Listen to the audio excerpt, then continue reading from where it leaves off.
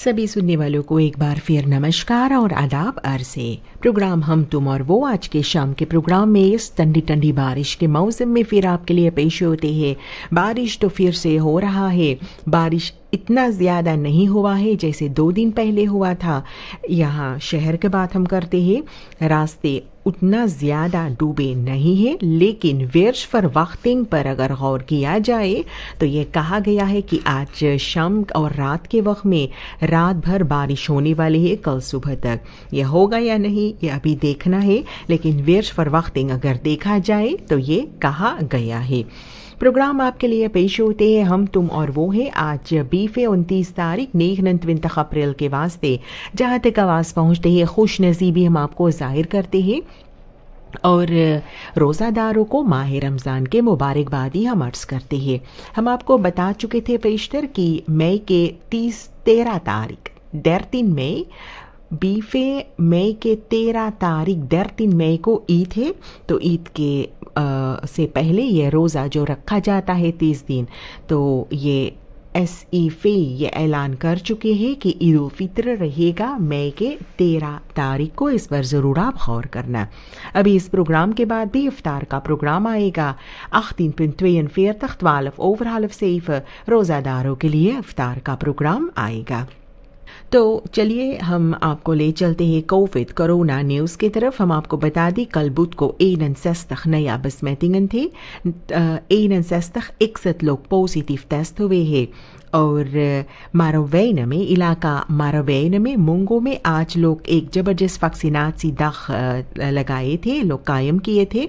इलाका मारोवैन में वहाँ पर लोगों को वैक्सीनेट करने के वास्ते। अभी तक पता चला है कि प्रियोरिटाइट लेस जो है, जिन लोगों को सबसे पहले मौका दिया जाएगा वैक्सीनेट करने के लिए, ये है gezondheidswerkers जो लोग बयारद हुइसे में रहते हैं सस्तख प्लसर्स 40 प्लसर्स met onder meer यानी कि जिनके कोई बीमारी है जैसे नीर suikerziekte, सिकलसेलziekte, overgewicht, hoge bloeddruk, leerkrachten को भी आ, वैक्सीनेर किया गया है और मिनिस्ट्री van Volksgezondheid को इसमें मदद मिली है। नेशनल कोऑर्डिनेtie team COVID-19 vaccinatie का और एक टीम van verpleegkundigen, medici और vrijwilligers अनेक जगह से अनेक इंस्टेलिंगन से आए थे इसमें मदद करने के वास्ते। ये कोरोना बस मैटिंगन जो है आप सुन चुके हैं अभी तक फैलता जाता है। इस वक्त पार्लियामेंट में एक सभा एक असम्बली फरखादरिंग चल रही है जहाँ पर कोविड के बारे में बहुत से सवाल किया गया है। आ, ये फरखादरिंग जो है असम्बली लीडन मांग किए है। इन, इन दिनों के अक्तुवेल जो फ्राक प्रवंतन है इन दिनों की जो अक्टवेल मुश्किल है, इस बारे में लोग सवाल किए हैं सरकार से और ये सवाल पार्लियामेंटारियर्स किए हैं और प्रेसिडेंट संतोखी अपने टीम के साथ, मिनिस्टर्स के साथ इन सवालों के जवाब दे रहे थे। ये फरहाद रिंग अभी तक चल रहा है। हम आपको बता दें कि कोविड के बारे में भी बहुत से सवाल किया गया है और देव शर्मा जो फीसर फोर्शेतर है, ये पार्लियामेंट का, ये भी कहा है कि हम कोद स्वार्थ कोद स्वार्थ की तरफ़ हम जाते हैं, जहाँ पर इसका मतलब ये है कि देखा जाएगा इसी में इंटेंसिव केयर पर कौन से मरीजों को देखा जाएगा, को कौन से मरीजों को रखा जाएगा, किसका इलाज होगा, क्योंकि अस्पतालों में जगह नहीं है मरीजों को रखने के वास्ते। कल हम आपको बताए थे कि लोग स्पूताइसुंदहुल पर छह इसी बैदन का बंदोबस्त किए हैं, इसका इंतज़ाम किए हैं। लोगों को वहाँ पर रखने के वास्ते इलाज के लिए कोविड, जिनको है कोविड बीमारी या फिर से ज़रूर एक बार फिर हम आपसे कहते हैं, इस पर आप गौर कीजिए। आप लोगों का मुश्किल और ख़ुद का मुश्किल और मत बढ़ाइए। आप ये कोविड रेखल्स पर गौर कीजिए। बच के रहिए, लोगों से दूर रहिए, अपना मौत कप न्यूज़ कप हमेशा आप लगाए रखिए और हाथों को आप वक्त वक्त पर साफ़ करते रहना। काफ़ी बारिश जो हुआ है और काफ़ी बारिश से लोगों को बहुत से हानि हुआ है।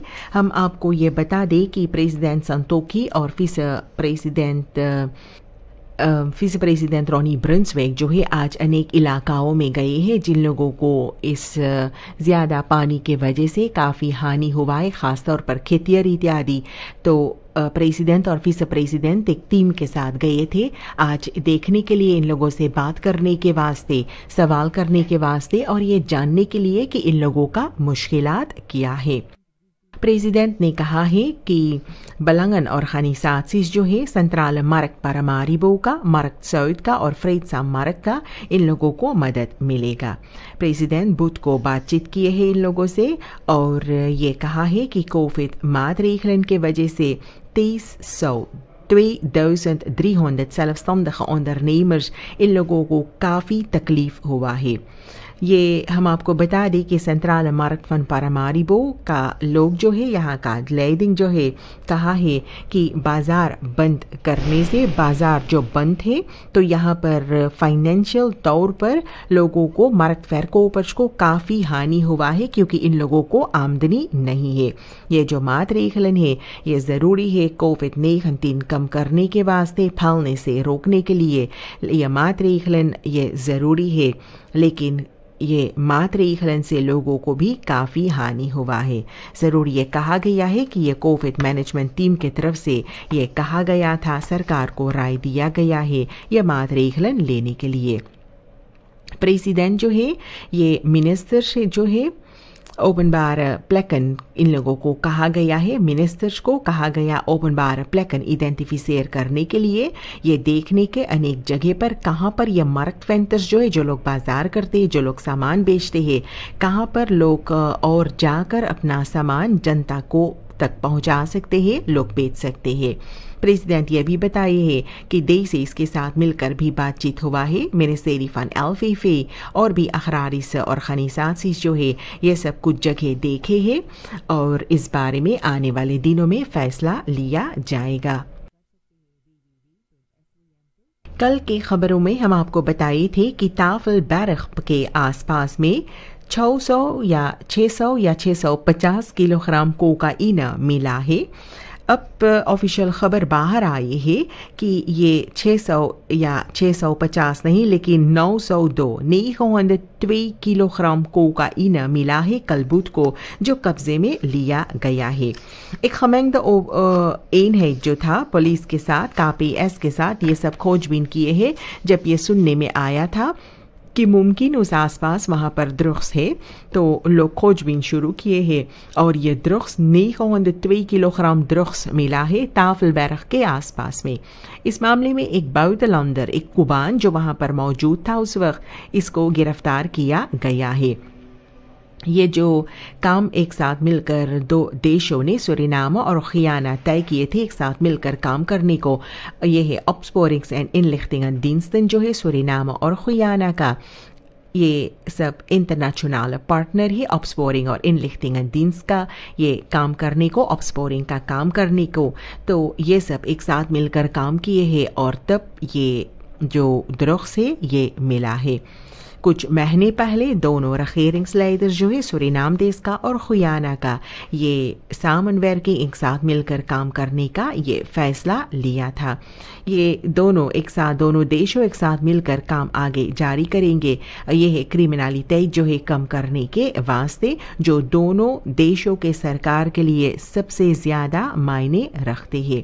तो एक कुबान जो है, इस मामले में गिरफ़्तार हुआ है। या कोकाइना के मामले में गिरफ़्तार हुआ है और पुलिस और लोगों के तलाश में है, ये कोकाइना किसके है, कैसे वहाँ पर आए हैं।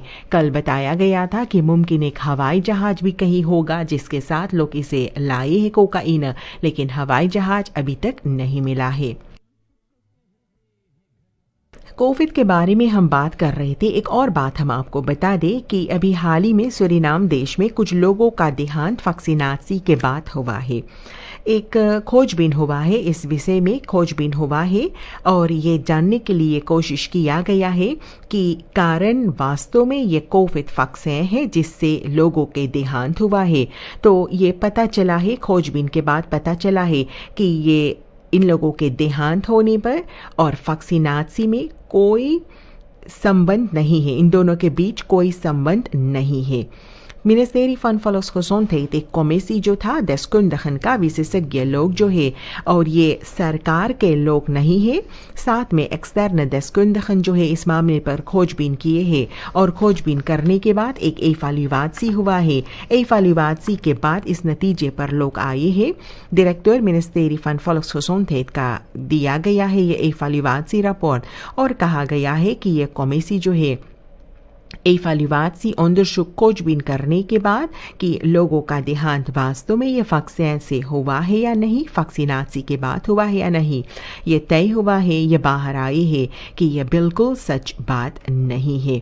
ये एफालिवादसी रिपोर्ट जो है, ये बताते हैं, यह बिल्कुल भरोसेदार है, कहा गया है, क्योंकि इसमें सरकार के लोग नहीं है, लेकिन एक्सटर्न दस्कुंदखन विशेषज्ञ लोग इस पर खोजबीन किए हैं। तो ये बताया गया है, मिनिस्टेरी फन फॉलोक्स gezondheid की तरफ़ से कि यह फक्स कारण नहीं है कि लोगों का देहांत हुआ है। सुरीनाम देश में यह तय हुआ है कि यह वैक्सीनासी जो है, ये ज़ोर तोर से जारी होगा। जनता से गुजारिश किया जाता है। मिनिस्टेरी फन फॉलोक्स gezondheid के खबरों पर गौर करने के लिए वैक्सीनासी प्रोग्राम के बारे में और आपको पुकार की जाती अपना नाम आप रजिस्टर करवाइए। वेबसाइट पर वैक्सीनासी के वास्ते वेबसाइट का पता है। www.laatjevaccineren.sr ये ज़्यादा बारिश जो हो रहा है, एक और बात हम आपको बता दें कि ज़्यादा बारिश के कारण खेतियर का ये कहना है कि सब्ज़ी का दाम जो है ये चढ़ने वाले है, सब्ज़ी जो है ये महँगा होने वाली है। इस पर ज़रूर आप गौर कीजिए क्योंकि सभी जो इन लोगों के तरकारी इत्यादि जो है, सब्ज़ी जो है, ये सभी डूब गया है, पानी के नीचे आ गए हैं और ये ख़राब, कुछ हद तक ख़राब भी हो जाएँगे। ये सब्ज़ी का जब कमताई रहेगा, क्योंकि ये इन लोगों का जो तरकारी जो है, ये सब्ज़ी जो लोग लगाए थे, यह नुकसान अगर होगा तो कमताई रहेगा, और कमताई रहेगा तो दाम ऊँचा होगा। तो सब्ज़ी का दाम आने वाले दिनों में ये चढ़ने वाले हैं, ये ऊँचा होगा, इस पर ज़रूर आपको गौर करना है। एक अफसोस की खबर हम आपको दे दें कि आज एक ज़बरदस्त हादसा हुआ है और यह है क्रियोला पर। क्रियोला पर एक ज़बरदस्त हादसा हुआ है। अब तक के जो जानकारी मेरे पास है, वो ये है कि दो गाड़ी के बीच ये हादसा नहीं हुआ है, लेकिन ये गाड़ी जिसके साथ यह हादसा हुआ है, ये अर्थवेक हुए है एक दूसरे गाड़ी के वास्ते। और इस गाड़ी में कई ऐसे लोग मौजूद थे। ये इसमें से अफसोस के साथ कहना है कि एक शख्स का देहांत हुआ है। एक शख्स शख्स का देहांत हो गया है और चार लोग घायल हुए हैं। चार लोग घायल हुए हैं। इन लोगों को लोग इलाज के वास्ते हॉस्पिटल ले गए हैं। एक आदमी का देहांत वहीं पर हो गया है। ये जो बस्ट्यूडर था, एक ब्लाउ रंग का गाड़ी का, ये अर्थवेक किए है एक ट्रक के वास्ते कंट्रोल खो दिए है, जाकर एक एबीएस के स्ट्रोम पाल से टकराया है। ये आदमी का देहांत वहीं पर हो गया है और तीन लोग एंबुलेंस के ज़रिए लोग हॉस्पिटल में ले गए हैं इलाज के लिए। ब्रंतवीर को भी वहाँ पर आना था लोगों को गाड़ी में से निकालने के वास्ते। इस मामले में इस हादसे के लिए पुलिस अभी खोजबीन कर रहा है।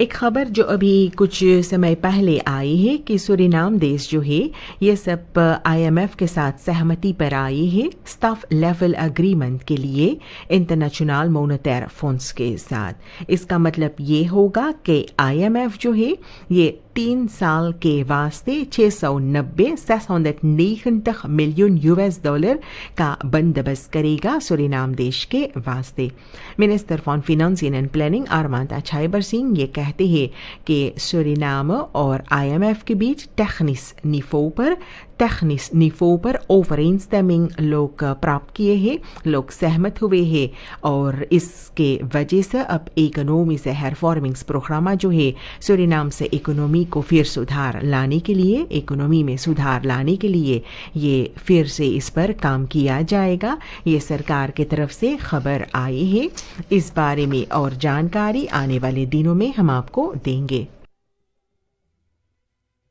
नेशनल लेहर के पास एक नया बफेल हैबर ठहराया जाएगा। एक वारनेमन बफेल हैबर रहेगा। ये है कोलोनेल हेनरी फन अक्सल डोंगन नया बफेल हैबर वारनेमन बफेल हैबर होगा नचुना लेहर का। कोलोनेल रॉबर्ट कार्तो डिक्रोमो ये पेंशन से जा रहे हैं। ये जो हम आपको बता दें कि फन अक्सल दोंगन जो है यह बलेट्स ऑफिसर था मिनिस्टर का। यह भी कमांडेंट रह चुके हैं लंतमाह का। मायोर लिया हाइनस पारस जो है ये पहली स्त्री होंगे जो इंस्पेक्टर जेनरल होगा क्रेस माख्त के। प्लाट्स vervangend bevelhebber रहेगा luitenant kolonel Werner Q. Asen, luitenant kolonel Bob Mangal होगा। और ये लेफ्टिनेंट कॉलोनल बॉब मंगल जो है, ये नया शेफ स्टाफ होगा। लेफ्टिनेंट कॉलोनल अशोक जगदेव, ये बागडोर संभालेगा लंतमख के पास। लेफ्टिनेंट कॉलोनल फ्रंकलिन ब्लॉकलाउन जो है, ये मारीना पर बागडोर संभालेगा। और लेफ्टिनेंट कॉलोनल पेट्रस वासीमेन, ये कमांडो इनको मिलेगा, कॉरस मिलिटेर पॉलिसी का। AGM luitenant-kolonel Marven van Huisduinen-Jehe, je commandant Hoga, luchtmachtkepaas. Opel bevelhebber strijdkrachten का प्रेसिडेंट चंद्रिका प्रसाद संतोखी जो है मई के तीन तारीख प्रोसीड्यूर के मुताबिक जो है नया bevelhebber और नया लेखर कमांडेंटन को इंस्टॉलेर करने वाले हैं और उसके बाद मेमरे बुकू का सरन में डिफेंसी का मिनिस्टर कृष्णा मथुरा जो है इन लोगों से परिचय करवाएँगे बाकी के लोगों को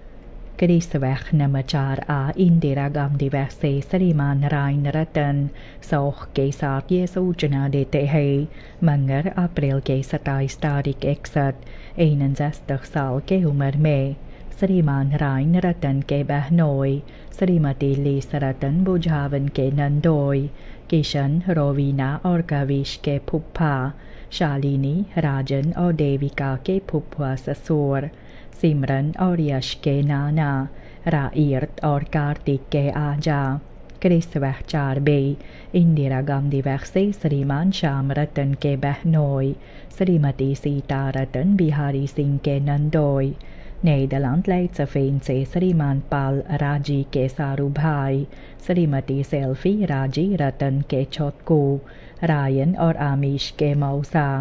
नेदरलैंड डेन हाग से श्रीमती लिस रघुबर सिंह रतन के पति विनंत और विनेश के पिता अंशला के ससुर नेदरलैंड डेन हाग के रहने वाले श्रीमान आइवन सुभाष चंद्र रघुबर सिंह की मृत्यु हुई है सुरीनाम में प्रिंसन स्त्रात के रहने वाले थे अर्थी आने वाले सनीचर मई के पहली तारीख नेदरलैंड में डाक क्रिया की जाएगी बैठक नहीं की जाती है कोविड नाइन्टीन के वजह से। तमाम परिवार हर एक को ये खबर दी जाती है। सूरीनाम और नीदरलैंड से श्रीमती लीसरा गोबर सिंह रतन सौख के साथ ये सूचना देती है। मंगर अप्रैल के सत्ताईस तारीख इकसठ इकसठ साल की उम्र में श्रीमती लीसरा गोबर सिंह रतन के पति विनंत और विनेश के पिता अंशला के ससुर परिवार स्टैनली करमचंद रघुबर सिंह सेवराज सिंह परिवार रोमी रघुबर सिंह उदयराज सिंह परिवार आश शशि कुमारी रघुबर सिंह परिवार आंजनी भोला रघुबर सिंह इन सभी के भाई सार देवर काका मामा ककवा ससुर ममुआ ससुर और नाना स्वर्गीय नंदू रघुबर सिंह स्वर्गीय त्रेस रघुबर सिंह उजागिर के बेटा नेदरलैंड डेन हाग के रहने वाले श्रीमान आइवन सुभाष चंद रघुबर सिंह की मृत्यु हुई है सूरीनाम में प्रिंसन स्त्रात के रहने वाले थे अर्थी कल सनीचर मई के पहली तारीख नेदरलैंड में दाह क्रिया की जाएगी बैठक नहीं की जाती है कोविड नाइन्टीन के वजह से। तमाम परिवार, हर एक को ये खबर दी जाती है। Mon Plesierweg nummer 16 Indira Gandhi weg से श्रीमान रॉय हुब्बा, सोख के साथ ये सूचना देते हैं। बीस अप्रैल के उनतीस तारीख बासठ, तिरसठ साल के उम्र में, श्रीमान रॉय हुब्बा के पत्नी वंदना तौस हुब्बा और अरविंद हुब्बा के माँ, राशा तौस, वर्षा हुब्बा बंधन के सास, रेहान और नितिन तौस के नानी। मोनप्लसीर वैख नंबर 16 इंदिरा गांधी वैख के रहने वाली, श्रीमती शकुंतला लीलावती हुब्बा कालका की मृत्यु हुई है। अर्थी आने वाले मंगल मई के चार तारीख सुबह दस बजे घर पर रखा जाएगा। साढ़े बारह बजे मोनप्लसीर वैख सोलह से अर्थे उठाई जाएगी। दो बजे uitkijk पर दाख क्रिया की जाएगी। besloten में दाख क्रिया की जाएगी। सभी को कोविड नाइन्टीन मातरीखल पर गौर की जाएगी। तमाम परिवार हर एक को ये खबर दी जाती है।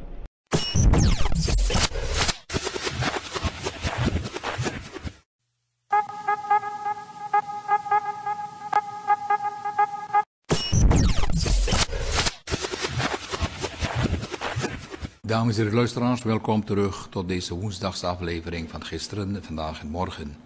Rashid Pierkans Kala Jorkal. Dit is de aflevering voor woensdag 28 april 2021. Mijn naam is Ferry Pierkan, Farid Pierkan en ik presenteer u deze uitzending. We hebben onze telefoonlijn weer voor u vrijgemaakt en ik verwelkom wederom uw maatschappelijke mening op het telefoonnummer 532037. Ik feliciteer alle moslimbroers en zusters die in de vaste maand zitten. U weet, de maand Ramadan is uh, al aangevangen. De moslims vasten 30 dagen. En dat betekent dat ze niet eten en niet drinken van zonsopkomst tot zonsondergang. En pakweg 1,5 miljard mensen zijn momenteel bezig met het vasten. En het vasten duurt in de wereld rond tot uh, midden mei.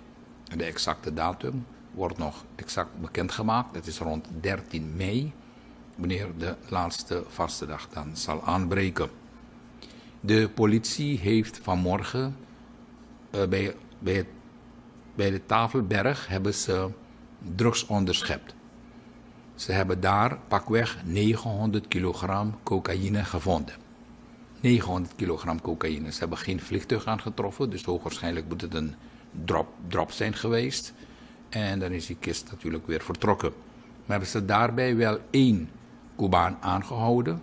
één verdachte aangehouden Cubaan. Een tweede is het bos ingevlucht. Daar zoeken ze nog steeds naar. 900 kilo, dat heeft pakweg een straatwaarde van zo'n 60 miljoen euro. Daar praten we over. Ze hebben daarbij nog gevonden ATV's hebben ze aangetroffen. Ze hebben verpakkingsmateriaal aangetroffen. Ze hebben uh, stickermateriaal aangetroffen. Wat erop neerkomt in principe dat hoogwaarschijnlijk ze de, de tag number van die airline hebben verwisseld, vervalst. Ze hebben onderdelen van vliegtuigen gevonden. Ze hebben pompen ook aangetroffen daar. 900 kilogram, dat is heel, heel erg veel. En wat bekend is internationaal, is uh, het overgrote deel dat je niet kan vinden. Met andere woorden, je onderschept één. Maar ja, wie weet hoeveel van dit soort ladingen, kleinere of dan niet grotere ladingen, uh, reeds door de jaren heen gepasseerd zijn. Ons land staat, hoe jammer genoeg dan ook, bekend als een drugsdoorvoerland. Een drugsdoorvoerland. Niet dat wij bekend staan als uh, cocaïne drugsgebruikers, maar we staan wel bekend als een drugsdoorvoerland. En van waar ze allemaal komen, dat is internationaal ook aangegeven, voornamelijk door Interpol, door CIA, door de internationale politieorganisaties. En het is altijd een, een moeilijke taak om deze ladingen te onderscheppen. Dit kan vaak genoeg gebeuren als iemand een tip geeft, als de politie een goede geheime dienst heeft, de DNV een goede geheime dienst heeft. Iemand gaat verklikken, je moet het van verklikkers hebben, of je moet het ook van de internationale samenwerking hebben. Internationale drugssamenwerking, waarbij de organisaties in andere landen uh, je een tip geven wat er min of meer kan gebeuren op jouw territorium. Zo kunnen die zaken onderschept gaan worden. En 900 kilo, dat is veel. Dat betekent iemand gaat de prijs voor betalen. Want de drugshandel is een cash business, is geen business. Met andere woorden, zet het op de rekening voor mij. En dan betaal ik je over een jaar. Nee, dat werkt niet zo. Dat is een cash business. Dat betekent iemand is een cash kwijt, zijn lading kwijt. Dus in zulke gevallen komt het vaak voor, vaak voor dat je na verloop van tijd je op de een of andere manier een afrekening ziet dat mysterieus verdwijnt en niemand weet wie, wat of waarom. U bent in de uitzending. Goedenavond. Goedenavond meneer Pieter Kaan, goedenavond kijkers en luisteraars. Ja, goedendag. Met betrekking tot de onderschepte drugs staat op internet dat het om 600, meer dan 600 kilo gaat. Nee, deze informatie heb ik net gekregen die ik u geef. Ik vraag, Nee, deze informatie heb ik u net gegeven. maar ik vraag me af, ja, als het zo moeilijk is om de juiste, Wat ik u geef is, juiste gewicht wat ik u geef is de eh, laatste. Nog een keer, wat ik u doorgeef is de laatste informatie, is een update. Wat u hebt gelezen was van vanmorgen. Dat hebt u gelezen. Ja. Nee, maar u zult wel begrijpen waarom ik dat. Maar u zult wel begrijpen waarom ik u die update geef. Oké. Eh, met betrekking tot die douanestaking.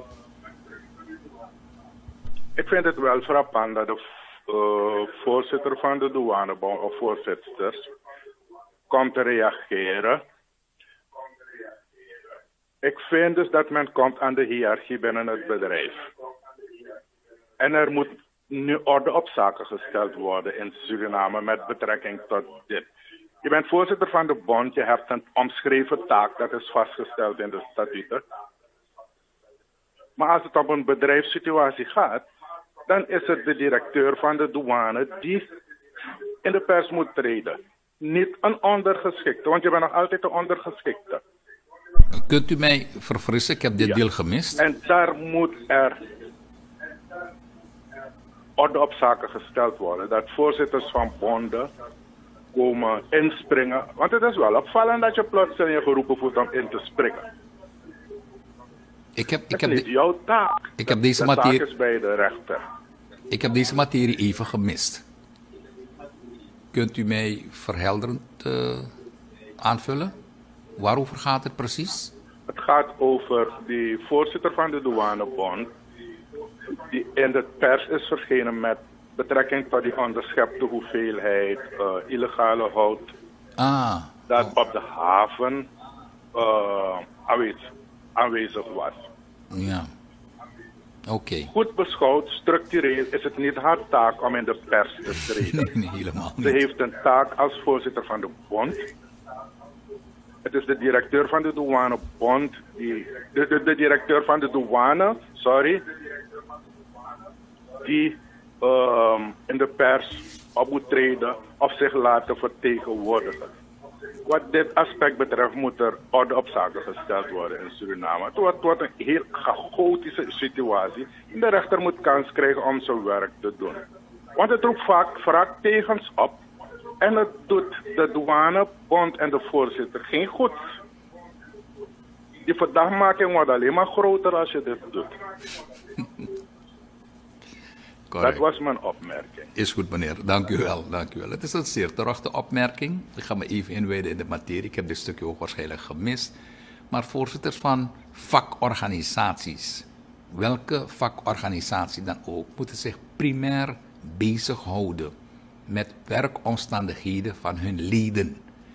Maar zich niet als zodanig inlaten met interne aangelegenheden het werk zelf. Want dat wordt gezet door de leiding van zo'n organisatie en niet de bond op zichzelf. Maar vaak genoeg zien we, zien we dat men op de stoel van de leiding wil gaan zitten. En daarin een bepaal, wil het midden gaan bepalen. En daar moet er wel een goede scheiding in gaan komen. Uiteraard moeten ze ook uitkomen als ze zien dat hun leden beknopt worden in hun vervullen van hun werkzaamheden. Maar dat je gaat inmengen van hoe een organisatie moet draaien, dat is niet jouw aangelegenheid. Daarvoor ben je geen vakorganisatie.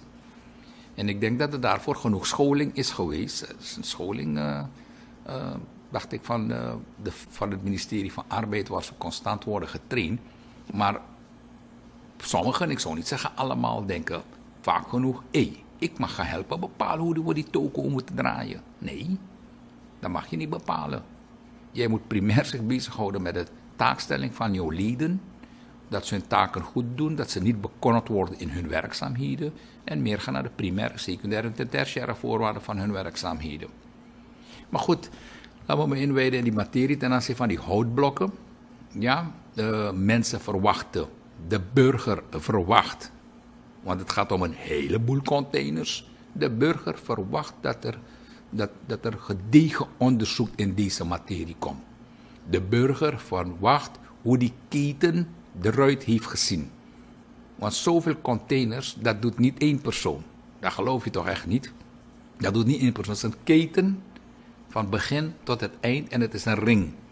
En die ring moet ontknoopt worden. En ze moeten daarvoor het Openbaar Ministerie niet gaan dwarsbomen in hun onderzoek. Want dit is een gigantische vangst en niemand weet, het is ook zo onzichtbaar, hoe vaak het mogelijk eerder is gebeurd. Het kan zijn dat het nooit is gebeurd, maar, het, maar de vangst begint altijd bij één. En de burger kijkt naar uit. En je weet in het verleden, in andere zaken, ik zou niet zeggen alle zaken, het zijn veel zaken ook verdwenen in wat men bekend staat in een term die wij hebben ontdekt in ons land, doofpot en blinde muur. Dat zijn twee termen die wij hebben ontdekt. Dus als je de woordenboek van Suriname opslaat doofpot en blinde muur, dan komt dat in ons woordenboek voor, zo weten niet hoe verder. Dus, en dat is gegroeid door de jaren heen, dat de burger er sceptisch over staat van, kunnen ze dat werk wel aan?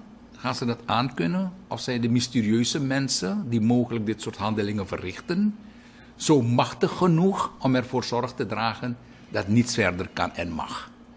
Dus deze case kijkt iedereen. Iedereen kijkt, geloof me.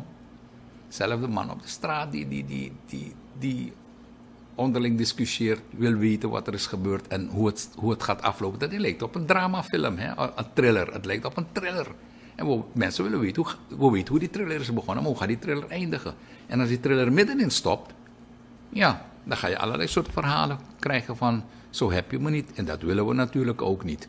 Maar laat het Openbaar Ministerie de ruimte geven. Want zoveel containers. Ja, oké, oké, oké. Goedenavond, u bent in de uitzending. Goedenavond, meneer Pierkarn. Goedenavond, meneer. U spreekt tot de heer Roland. Ja, meneer Roland. Ik wilde een korte vraag stellen. Ik wilde graag weten als de heer Ronnie Brunswijk die vicepresident is, die zoveel goudconcessies heeft, als deze man wel belasting overdraagt aan de staat. Dat is mijn vraag, meneer Pierkan. Oké, dank u wel. Ik kan u jammer genoeg geen antwoord op deze vraag geven. Uh, deze vraagstelling zou de Belastingdienst moeten beantwoorden. Want zij weten wie belastingplichtig is. Zij weten wie belasting betaalt. Zij weten met wie ze belasting verrekenen. Zij weten aan wie ze uitstel geven tot belasting betalen. Want soms kan je een bedrijf ook uitstel geven om te betalen, zodat het bedrijf niet failliet gaat. Dat kan ook. Maar ik heb er daarvoor geen antwoord voor u. De dienst zou eventueel deze vraag moeten beantwoorden. Of zo niet, dan zou een van onze parlementariërs deze vraag moeten stellen in de Nationale Assemblée voor verduidelijking. Voor verduidelijking. Dit is Rashid Pierkans Kalajorkal. Ik had uh, een interview gemaakt met Dien Goré. Dien Goré, dat is de bondscoach van ons nationaal elftal. Door alle hibbies die we vandaag aan de dag meemaken. Door de crisis, de economische crisis waarvan u het verhaal al kent. Door die covid-crisis die wij allemaal nu ook meemaken. On top of de economische crisis. Door alle ongemakkelijkheden die wij als burger meemaken in ons sociaal-maatschappelijk verkeer. Door alle sommige irritaties die optreden die niet moeten komen, maar vanwege de situatie die ons allemaal op ons eigen niveau raakt is toch voetbal een goed moment voor ons als vertier. Het brengt plezier in ons leven. Het zorgt ervoor dat, dat wij een gevoel krijgen van we kunnen iets doen. En dat kan soms door sport. En voetbal is een nationale sport. Iedereen heeft wel een keertje een balletje getrapt. Dus ik heb ook gepraat met die bondscoach Dean. Ik was ook met ze meegegaan toen ze de wedstrijd hebben gespeeld in uh, Florida tegen Aruba. ik heb de wedstrijd hier van tegen Cayman ook meegemaakt. En ik ga die andere wedstrijd met ze tegen Canada ook meemaken, want die afspraak heb ik ook met ze al gemaakt. Dus ik ga het op poos weer even niet zien. Maar ik wil dit momentum in mijn leven ook niet voorbij laten gaan. En ik hoop dat u me dat ook een klein beetje gunt. Maar laten we gaan luisteren naar het leuke gesprek die ik heb gehad met Dien. Gaat u mee? Hebben we al die jaren constant gekeken naar de televisie, omdat we allemaal liefhebbers zijn van Zuid-Amerikaans of Europees voetbal? Hebben we al die jaren genoten van de televisie, van de topkwaliteiten van het Europees voetbal?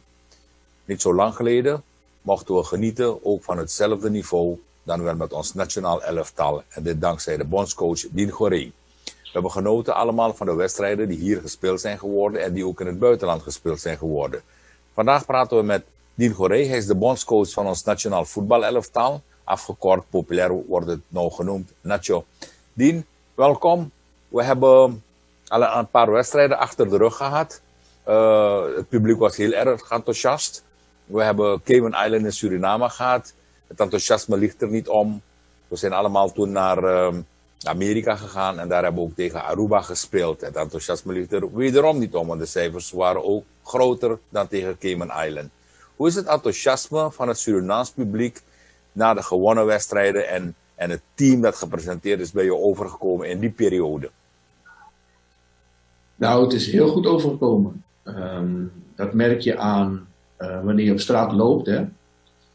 Uh, de reacties van de mensen als je een winkel binnenstapt of als je uh, ergens voorbij loopt, dan, dan is het vol enthousiasme dat men praat over, over Nacho. En dat is, dat is een heel mooi gevoel, lekker gevoel.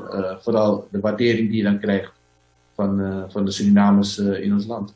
Ja, maar met al die waarderingen die er komt, wordt de druk voor jou dan niet groter? Want naarmate men zegt, hey, dit is goed, wil men altijd ook beter hebben. Nou, goed. Ja, hoe, hoe, hoe, meer op het spel staat, hoe groter de druk wordt. Dus, uh, maar dat is inherent aan het voetballen. Dus uh, ik heb dat uh, al 17 jaar in mijn carrière meegemaakt. En nu ook weer een kleine 10 jaar als trainer. Oké, okay, geweldig. we hebben de wedstrijden gezien van Cayman. En we hebben van Aruba ook gezien. het publiek heeft het ook mogen zien. hoe zijn deze wedstrijden bij jou overgekomen? En wat denk je dat toch nog beter kan gaan gebeuren? Na deze twee gespeelde wedstrijden? Nou ja, kijk, uh, gezien we maar uh, een uurtje hebben getraind met elkaar voordat we de wedstrijd tegen Cayman Islands speelden. En daarna hebben we een uurtje getraind uh, voor de wedstrijd tegen Aruba. Moet ik zeggen dat we toch heel goed hebben samengespeeld. die jongens hebben, zijn vrij vlot ingespeeld op elkaar. het is natuurlijk niet wat het wezen moet, maar het is een goed begin. En ehm, als je kijkt naar uh, spelers die bij elkaar zijn, gaat het alleen maar beter. Dus uh, hoe meer we bij elkaar kunnen komen, hoe beter het gaat. Ja, uh, die, die, de spelers die, die met elkaar hebben gespeeld binnen Nacho, dat zijn jongens die in verschillende landen spelen, voor verschillende elftallen. En ze hebben elkaar ook waarschijnlijk nooit eerder ontmoet in soort collectief verband. Hoe ben je ermee omgegaan dat ze elkaar beter leerden kennen? In, in, in, in de intercommunicatie tussen personen onderling. Want ze kennen elkaar in principe niet. Ze kennen elkaar van, ja, we kennen elkaar van voetbal, maar we hebben samen nooit gevoetbald. Ja, dat klopt. Uh, we kennen elkaar natuurlijk van uh, hallo en dag. maar ze kennen elkaar niet van het voetballen met elkaar. dat, dat klopt. ik heb ze natuurlijk ook geselecteerd op ervaring. Je ziet dat die jongens uh, wat oudere spelers zijn, met, met veel ervaring. Die, dus ze zijn goed opgeleid en ze begrijpen het systeem wat we ook spelen. Dus ja, we maken er het beste van. Zoals ik al zei, ze zijn nog niet zoals het wezen moet, maar het is een heel goed begin. En uh, het smaakt naar meer. Ja, inderdaad. We hebben Cayman verslagen met 3-0 en daarna volgde Aruba en die ging met 6-0. Maar binnen het verband van het aantal ploegen waarin we zitten, we zitten met, met vier ploegen in, in een pool, waaronder Canada, dan worden in principe deze twee niet gerekend tot de twee, tussen aanhalingsluittekens, sterkere voetballanden.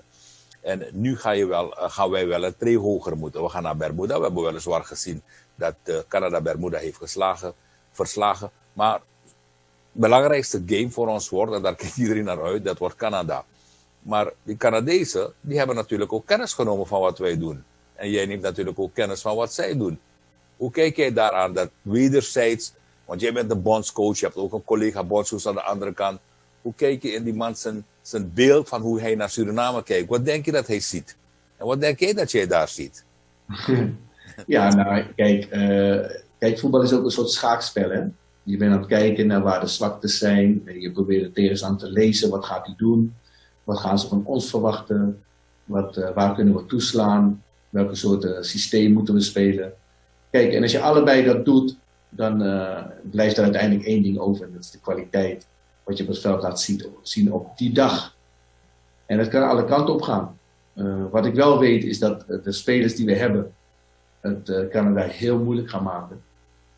Dus um, ik, ga er, ik ga er gewoon vanuit dat we met een positief resultaat naar huis komen. En het gaat niet makkelijk worden, het gaat een echte strijd worden. Maar um, ik ben er wel positief over. Oké, okay, maar we moeten eerst Bermuda pakken voor we naar, voor we kan, naar de landswijs van Canada gaan doen. Kijk, ja, vergis je niet in uh, Bermuda. Kijk, Bermuda is natuurlijk uh, heeft 5-1 van Canada verloren. Maar Bermuda speelde zonder hun profs. En uh, tegen ons gaan ze met hun profs spelen. Dus het gaat een hele andere wedstrijd zijn. Ze hebben fantastische spelers in Engeland lopen. Die niet hebben gespeeld tegen Canada. Maar die tegen wel, ons, tegen wel, wel tegen ons in actie gaan komen. Dus uh, we kunnen onze borst nat maken. Ja, die, die, ik, ik, dacht, ik had goed begrepen dat uh, een aantal van hun spelers in de wedstrijd van Canada niet mee konden doen vanwege uh, niet getest PCR-test, dacht ik, in die periode. Ja. En ze gaan diezelfde foto waarschijnlijk niet tegen ons maken. Nee, dat denk ik niet. correct, correct. Maar, dus in principe kunnen we niet zeggen van, ja, er is één sterker, één zwak, want we moeten alle wedstrijden winnen. Daar komt het op eigenlijk neer. Nee, dat klopt. Dus uh, we moeten gewoon bijkijken. Ik, ik ga hier vanuit, en dat is als je tegen Bermuda met 1-0 wint, Canada met 1-0 wint, dan ben je gewoon door. En uh, het is makkelijker gezegd dan gedaan, maar daar gaan we wel voor.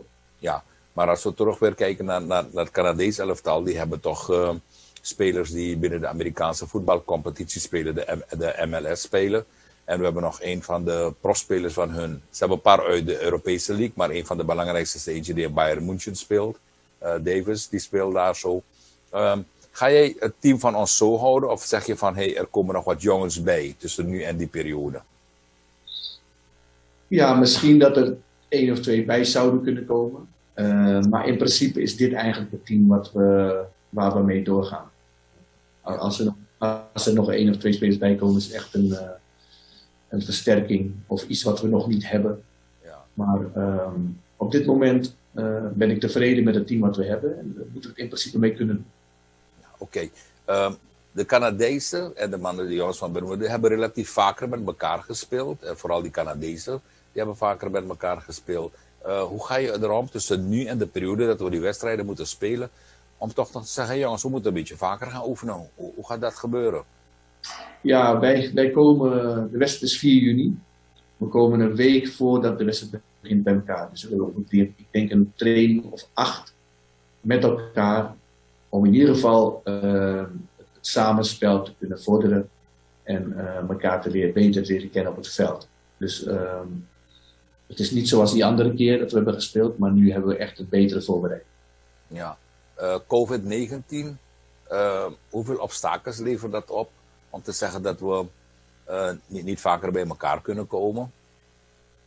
Uh, dat is het grootste probleem geweest in de afgelopen anderhalf jaar.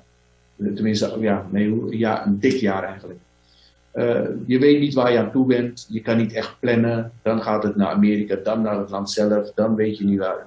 Het is constant weer, word je verrast met wat anders. Ja. En dat helpt niet. Ja, ik, ik begrijp tot nu toe dat, dat er nog niet bepaald is waar wij die wedstrijd tegen Canada spelen. Want het, het, het, kan Amerika worden of het kan Canada ook nog zelf worden? Is dat nee, ik geloof dat het nu wel duidelijk is dat het uh, Amerika wordt. Ja, van, van, vanwege COVID. Want ik las gisteren nog dat uh, COVID uit de hand is gelopen in Canada. Vooral in de stad Ontario is het uit de hand gelopen. Dus uh, komt het ons beter uit als we in Amerika spelen of Canada? Want... beter, beter Amerika, want dan is het voor hen ook een uitwedstrijd. En ja. dan hebben ze natuurlijk het, het thuisvoordeel, wat ze normaal zouden hebben. En, uh, en dat is natuurlijk goed.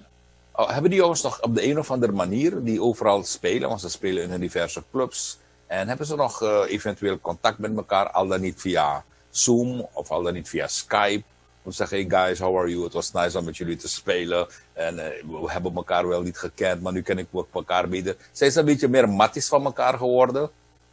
Ja, is, wat ik heb begrepen wel, ja. Ik hoorde van de jongens hier in Suriname natuurlijk hoeveel contact er is. Uh, laatst nog was ik met Apai en zag ik dat hij met uh, Kelvin Leerdam en nog een speler aan, aan het WhatsApp-call was. Ja. Uh, en dat is, dat is mooi om te horen dat die jongens zo, zodanig met elkaar bezig zijn. Ja. Dat het uiteindelijk meer een, een klik wordt. Hè? Ja. En dat is goed. Ja, ik heb toch ook meegemaakt, toevallig was ik ook met jullie, dat hij toch een van die gangmakers tussen, tussen de jongens. Hè? Ja, ja. Tussen, tussen de boys. Ja, is een hele goede voor in de groep. Een leider ook. En uh, ja, die kan je, is goed om bij te Oké, okay, het enthousiasme zit er nog dik in.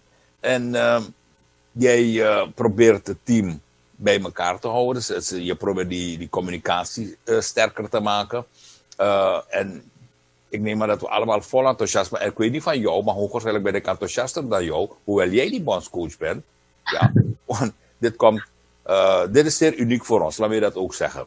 Ja. Mensen genieten van wat er nu momenteel gebeurt met ons Nacho.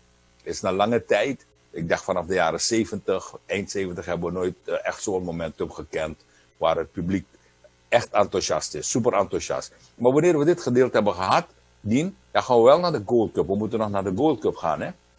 Ja, klopt. Ja. Kijk, we zijn voor het eerst in de geschiedenis zijn we geplaatst voor een eindtoernooi. En dit eindtoernooi is niet zomaar een toernooi. Het is een, een groot toernooi waar miljoenen mensen naar kijken. Ja, ja. De grootste landen. Dus als wij, da, da, daar gaan we alvast naartoe. Kijk, iedereen is wel met het WK bezig.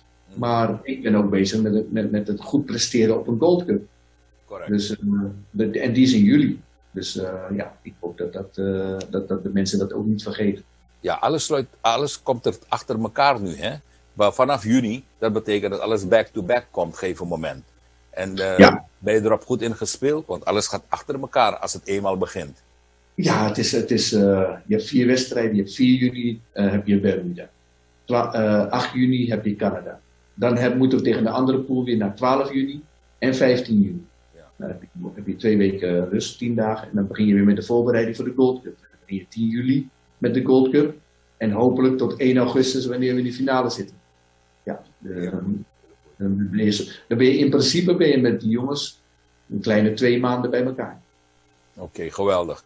Dien, uh, ik wil je bedanken voor dit gesprek. We gaan nog vaker praten tussen nu en uh, juni. En ook tussen nu en de Gold Cup. Uh, ja. Je weet, ik ga erbij zijn en ook bij de Gold Cup erbij zijn. Hè? Dus ik, ja. ik, ik, ik, loop letterlijk achter jou. Oké, okay, prima. Is helemaal goed. Oké, okay, helemaal. Nog bedankt en veel succes. Ja, oké, okay, bedankt. Ja, voetbal brengt toch ook een beetje plezier in ons leven. Door alle momenten die we als burgers ook meemaken in ons land. Iedereen op zijn eigen manier. En het heeft vele mensen goed gedaan dat we ons voetbal toch op een ander niveau hebben kunnen uh, brengen. Waarbij we nu toch weten, hey, we, we, we kunnen qua eenheid het toch goed doen. We kunnen ook winnen. Als een, als, als een volk merkt dat je kan winnen, dan inspireert het mensen ook beter te doen op andere gebieden. Op andere gebieden. En sport is een van de zaken die de burgerij naar boven kan trekken. Dit is Kala Jorkal. We gaan weer uh, wat bellers uh, de gelegenheid geven. Ik verwelkom je op 532037. En we doen het nog steeds live vanuit Paramaribo. Ik had wat uh, COVID-resultaten voor u intussen. De cijfers voor woensdag. 76 pardon, 61 personen zijn positief. Er zijn 21 mensen, ik herhaal, 61 personen zijn positief. De cijfers van vandaag. De stijging ook te merken voor intensive care patiënten, daar liggen er 21 personen bij. 110 mensen worden buiten de intensive care behandeld. Er zijn uh, 271 personen positief, die zijn, die zijn in isolatie. En 55 mensen zijn genezen. Dat zijn de laatste cijfers voor vandaag. U bent in de uitzending. Goedenavond. Goedenavond, Farid. Ik spreek met John. Ja, John. Uh, ja, de terrassen die zijn weer gesloten. Van de restauranten. En uh, ja, ik zit me af te vragen waarom de handelszaken die airconditioned zijn. En ook protocollen daar zijn. Die, zijn wel open. Er zijn protocollen voor de terrassen van de restauranten, maar die zijn weer gesloten.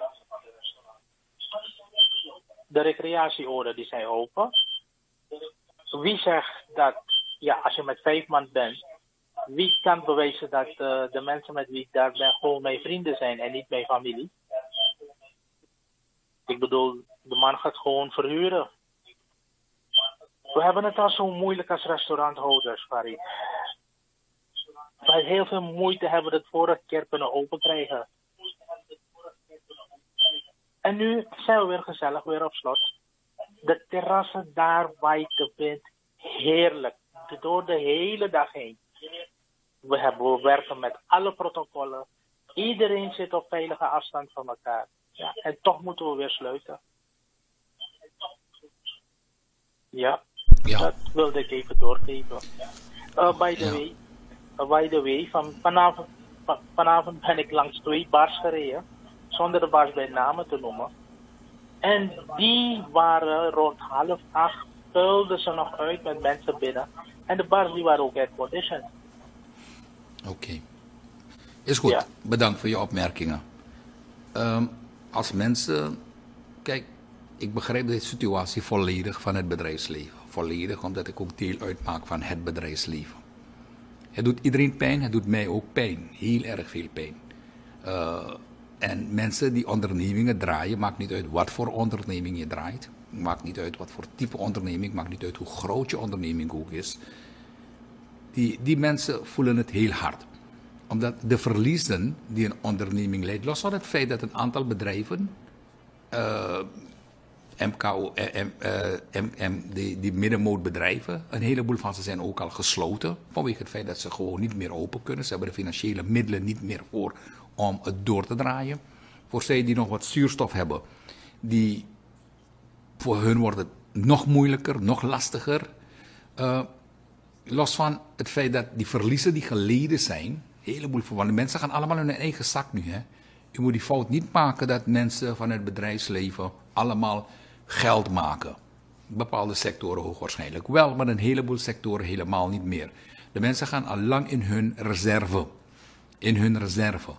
De bedrijven hebben leningen die ze moeten aflossen aan de banken. Hoogwaarschijnlijk zijn de banken nog redelijk met een aantal bedrijven om te zeggen: oké jongens, geef jullie wat extension, want de banken begrijpen de situatie ook. Maar de vraag is, hoe lang houden we dit nog vol? Hoe lang houdt het? En het bedrijfsleven, die genereert werk. Hè? Het maakt niet uit hoeveel personeelsleden een bepaald bedrijf heeft. Ga ervan uit dat een bedrijf gemiddeld vijf mensen heeft. Vijf. En honderd bedrijven. Je praat al snel van 500 mensen.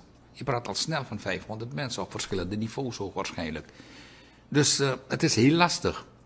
En om al die verliezen die gemaakt worden en al die leningen en al die schulden, om dat ooit weer in te halen, dat gaat niet morgenochtend gebeuren. Dat, ook al zou morgenochtend COVID weg zijn en we gaan naar het normaal leven van voor COVID, dan nog gaat het een poos duren voordat die bedrijven hun jaarverliezen weer hebben gecompenseerd voor ze op een normale situatie kunnen komen. Dus mensen moeten niet denken van oké, allemaal op, allemaal, ik kan niet bakken. Dat werkt niet zo. Het werkt gewoon niet zo. Het is heel, heel pijnlijk. Uh, ook wij hebben een enorme dip meegemaakt. Een enorme dip zoals alle andere bedrijven. Uh, we hebben een basisuitgangspunt, keep it floating. Zorg ervoor dat je geen mensen weghaalt. Zorg ervoor dat je de personeelsleden behoudt. Ze moeten ook begrip ervoor tonen. En ik heb gelukkig bij mij hebben een behoorlijk aantal hebben begrip ervoor. Wie afvloeit, die vervangen we ook niet meer. We, we zeggen van... Uh, keep it floating. Probeer te kijken wat je nog kan doen op een bepaald niveau op het draaiende toon. En zo hebben elk, elk bedrijf heeft zijn eigen strategie. Maar vooral die horecabedrijven, die hebben het heel lastig ook. Allemaal over het algemeen. Uh, bedrijven die nogal wat draaien, denk ik, denk ik, dat zijn bedrijven die levensmiddelen verkopen. Omdat de burger nu, vanwege krap geld, de burger heeft krap geld, koopt hij eerst wat hij belangrijk vindt. En dat is eten, drinken, deodoranten, sanitaire voorzieningen, dit soort zaken. Dat is de first thing die de burgerij eerst gaat kopen. En als je nog wat over heeft, dan volgt de rest ook wel. Vanwege het feit dat, er gewoon, dat ze gewoon krap geld hebben. U bent in de uitzending. Ja, goedenavond. U spreekt met de heer Peter. Ja, Peter. Ja, hoe is het met u? Goed, dank u wel, Peter. Ja, uh, mijn onderwerp is uh, voor de minister van Handel en Industrie. Uh, ten aanzien van de twee weekend lockdowns die er zijn. is een voorstel. Ik denk dat u ooit bent geweest naar de AZ.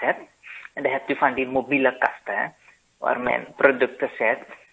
En dan stop je je geld in dat machine en dan krijg je je product. Als we bij elk supermarkt misschien zoiets konden plaatsen, zou het misschien op de maandag dan, wanneer de dag begint, dat men niet echt een toestroom heeft van naar de supermarkten, de aantallen mensen. Want daar zit er ook een besmettingsgevaar. Dat is één. Twee, of dat de supermarkt-eigenaren, uh, dat de minister hun dan de toestemming geeft dat hebben app en mensen sturen dan jouw app van de producten die ze nodig hebben. Dan kunnen ze dat bezorgen voor hun aan huis. Dan heb je ook weer niet dan de toestroom naar de supermarkten dat men een rush heeft, vooral in de weekenden en ook op de maandag. Dus misschien als de minister luistert, of via u, dat u dat kan voorstellen. Oké, bedankt. Kijk, dat product, dat apparaat waarover je het hebt, je hebt het bij AZ hoogwaarschijnlijk kan je daar een drankje uithalen, je stopt je muntjes of whatever erin. Maar je hebt ook gezien waar het is, hè? Ik neem aan dat je hebt gezien waar het is. Het is in een beschermd gebied. Met andere woorden, wanneer je zulke apparaten zet, moet je er ook voor zorgen dat iemand het niet kapot slaat.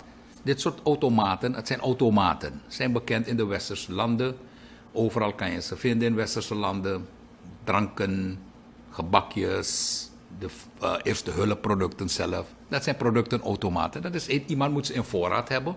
Deze apparaten kosten duur. Hou dat vast als je wil. Ga googlen. Ga kijken wat één kost. Eén, één kost. Dat, dat is een dure investering. Iemand zou ze in bulk moeten hebben. Iemand zou zeggen, ik ga erin investeren. Iemand zou moeten ook kunnen zeggen, ik wil het ergens hebben waar ze het niet kapot slaan.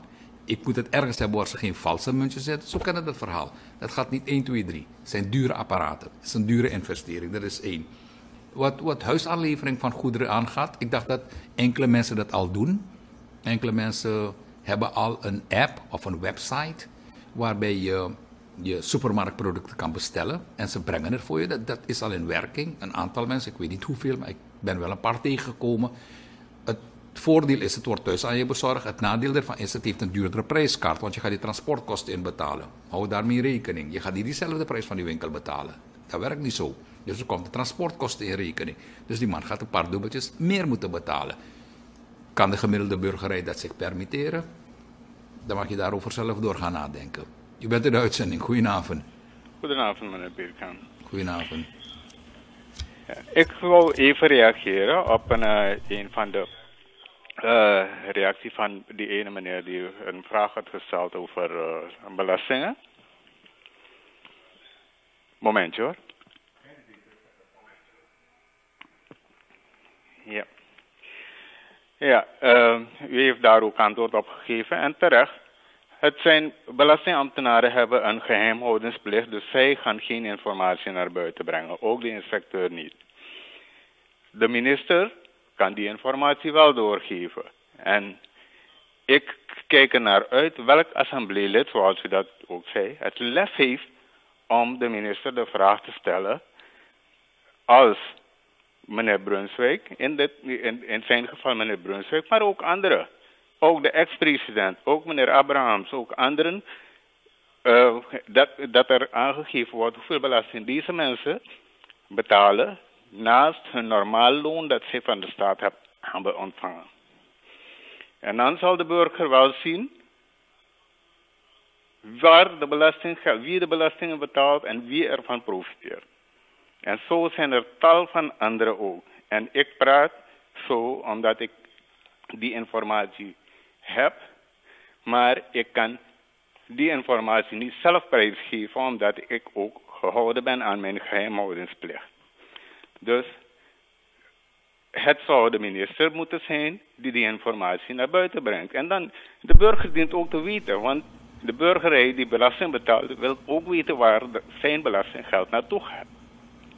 Ja. En evenzo, als men kan aangeven hoeveel belasting er uit de goudsector, uit de houtsector, uit de visserijsector en uit de handel en met name de, de, de Chinese groep, hoeveel belasting er van die mensen geïnd wordt. Oké. dat is mijn bijdrage. Oké, dank u wel. Dank u wel.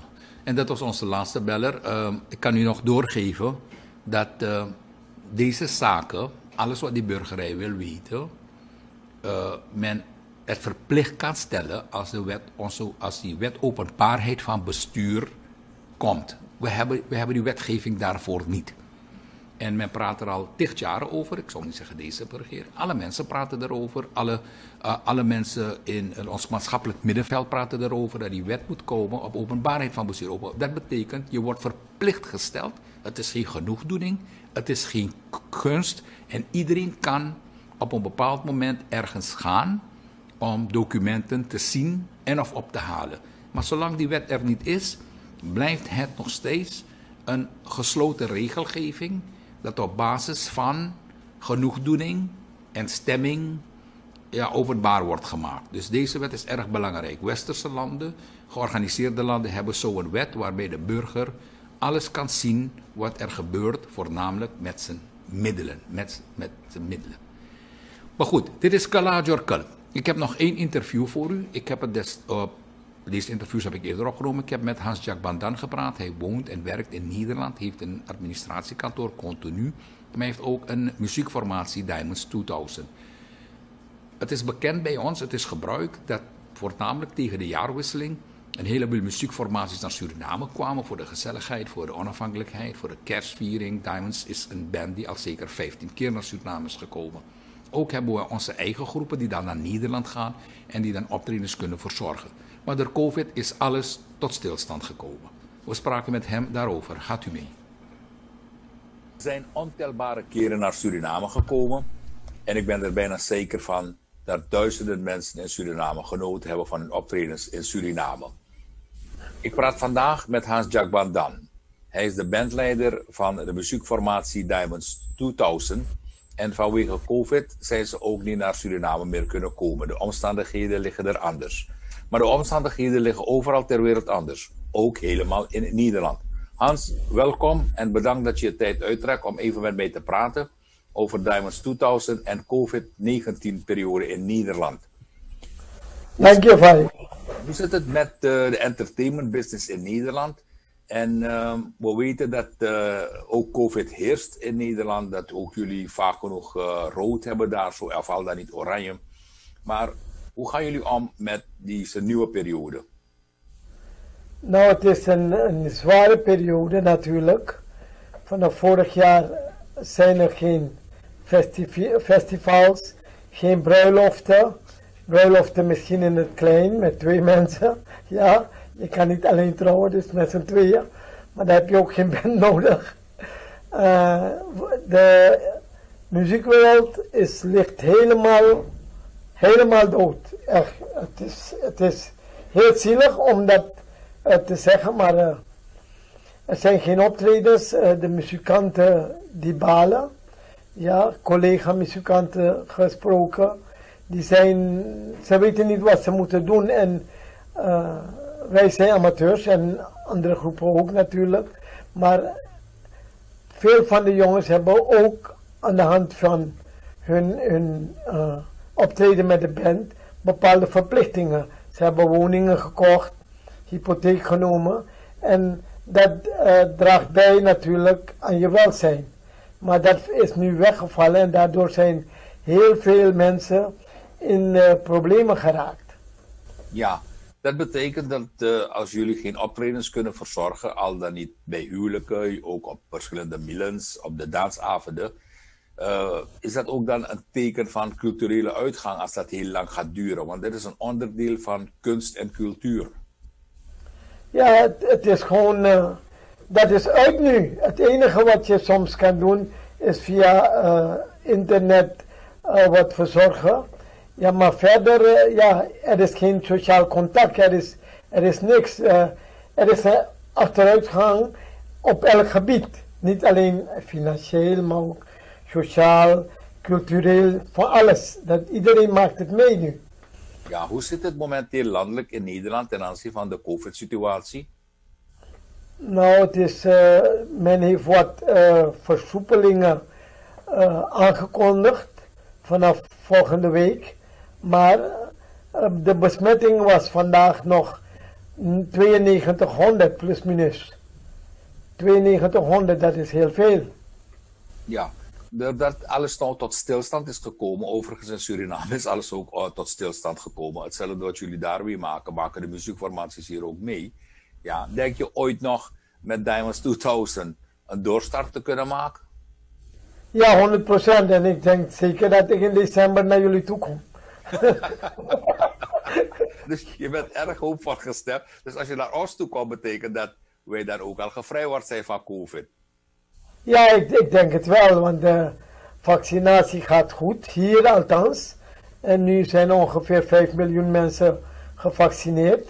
En ik denk tot uh, uh, augustus, september dat ieder hier gevaccineerd is. En Suriname heeft niet zoveel inwoners. En ik hoop dat uh, de rijke landen Suriname ook een helpende hand bieden om dit euvel te klaren. Ja, we hebben ook gemerkt de afgelopen periode in Nederland dat ook veel mensen in de diaspora zijn omgekomen door COVID-19. Hoe zijn deze grote slagen omgekomen? Een van onze goede vriend, Roel, is ook omgekomen door COVID-19. was een grote slag voor ons allemaal, ook in het bijzonder voor jullie. Maar hoe gaat die gemeenschap uh, in het bijzonder daarmee om? Het is heel moeilijk om uh, mee om te gaan. Want uh, je kan niet eens van zo iemand die is komen te overlijden. Je kan niet eens op een normaal manier afscheid nemen. Je kan niet eens bij de familie thuis langs gaan om hun bij te staan. Dat, dat, dat kan niet. Het is, ja, ik heb het zelf in de familie meegemaakt. En ik ken zeker nu 26, 27 mensen die aan COVID zijn overleden. twee dagen terug nog een dame in uh, Rotterdam, 38 jaar.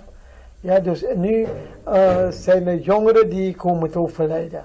De ouderen hebben al vaccin gehad, maar de jongeren nog niet. En, en de mutatie vanuit andere landen neemt toe.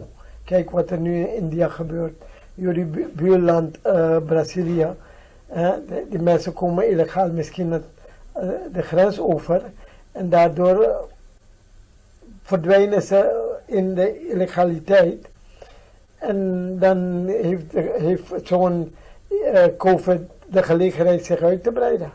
Ja, heb je, hebben jullie nog hebben jullie contact onderling met die muziekformaties? Want er zijn verschillende muziekformaties. Van enige oplossing dat jullie toch nog kunnen zeggen: we kunnen online optredens gaan doen of iets dergelijks?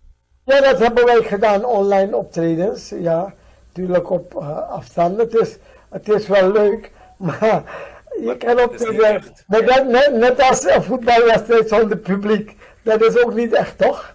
nee, dat, dat, dat klopt, dat klopt. Maar je bent wel hoopvol gestemd voor een doorstart, want jij bent al jaren bezig. Ja. Deze muziekformatie had eerst ja. de naam Indian Diamonds. Daarna heb je de naam getransformeerd naar Diamonds 2000. Maar deze band staat en valt met Jack Bandan. Nou ja, niks, niemand is onmisbaar. Niemand. Het, gaat ook verder, toch? Ja, dat gaat sowieso zeker verder. Oké. Okay. okay. Dus ik denk dat, ja toch, dus ik denk dat, dat zal de toekomst uitwijzen, maar voorlopig uh, ben ik hoopvol gestemd. En, uh, en de mensen moeten dat ook zijn en niet uh, met depressie thuis zitten maar proberen het beste van te maken. En, en, en toch, je, je, je, hebt radio, tv, je kan ook thuis zitten en, en genieten dan op een andere manier dat je vroeger met vrienden ging zitten. Maar alles kan, het is bij mate en straks is het, is het weer over en dan leven we normaal verder. Ja, dus jullie in Nederland zijn eerder hoopvol gestemd dat jullie hoogwaarschijnlijk eerder open gaan dan ons in Suriname? Nee, ik denk dat jullie ook, uh, jullie ook. Ik, ik hoop dat, dat, dat zeg ik, ik hoop dat de rijke landen jullie bijstaan. En ook dat Nederland ook straks Suriname kan helpen met, met de, de vaccin. En dat, het, dat de bevolking met 500.000 mensen snel ingeënt is. En dan kunnen we vrij reizen. Oké, Hans, bedankt voor dit gesprek en sterkte ook aan alle mensen in Nederland en de vrienden om je heen met COVID-19. Ja, jij ook. En uh, voorzichtig, ik ben al gevaccineerd, dus uh, geen probleem. Ja, maar ik, ik ben ook al gevaccineerd. By the way, welke vaccin heb jij gehad? Pfizer. Ah, oké. Jij bent die 95% ingeënte Pfizer heb jij. Ja. Heb je alle twee al gehad of one jab? Nee, nee, ik krijg maar één omdat ik COVID had. En als je binnen zes maanden COVID hebt gehad, krijg je maar één. Oké. Okay. Dus elk, voor, elk nadeel heeft zijn voordeel. Ja, laten we toch even dat gesprek even doortrekken. Nu je zegt dat je COVID hebt gehad, uh, hoe heb je dat overwonnen? Ja, door uh, uh, thuis te blijven, afzonderen en niemand op bezoek. Maar het was zwaar en met medicamenten. En wat we in Suriname uh, hebben die citelgras. Hoe noem je dat in, in het Nederlands? Niet bekend. dat, dat, als je thee daarvan trekt, dat helpt. Oké. En doordat je het al hebt gehad, je hebt COVID gehad, je hebt het overwonnen, dan krijg je één, één vaccin in plaats van twee, van Pfizer. Ja, ja, één. Oké, in Suriname... Binnen zes maanden. Prima, maar in Suriname zijn wij volop bezig met AstraZeneca, die hebben wij. Um, en daarmee worden mensen vooralsnog ingeënt. Ja, ja, het is een goede vaccin, want mensen krijgen het ook hier. Ik heb familieleden die het recentelijk hebben gehad. Echt geen probleem hoor. Oké, Hans, bedankt. Oké, Farid. Goed, dat was het gesprek die ik heb gepresenteerd in Kal Ajorkal. En voor ik eruit ga, nog laatste informatie ten aanzien van COVID-19. Pfizer, dat is een van de vaccins, en AstraZeneca, die wij ook gebruiken, onder andere. Uh, onderzoek heeft uitgewezen dat de mensen die het al hebben, uh, dat het jou 50% binnen je eigen huishouding bescherming geeft. Met andere woorden, dat, je, dat mensen binnen je eigen kringen beschermd raken in je huishouding. Men zegt ook dat de protectie van deze twee vaccins beginnen na 14 dagen. Mexico gaat over tot productie van Sputnik 5. Sputnik 5 is een vaccin die ontdekt is en gefabriceerd oorspronkelijk wordt in Rusland. Mexico gaat dat nou ook fabriceren. Ze hebben 1 miljoen doses daarvan recentelijk ontvangen. Diverse Braziliaanse steden hebben echter Sputnik afgewezen om gezondheidsfactoren. India is het helemaal uit de hand gelopen. India heeft 200.000 COVID-doden. Ze hebben gebrek aan zuurstof. 17,9 miljoen besmettingen zijn er tot nu toe geregistreerd. Engeland, Singapore, Rusland, Nieuw-Zeeland, Frankrijk en, Amerika hebben hulp toegezegd.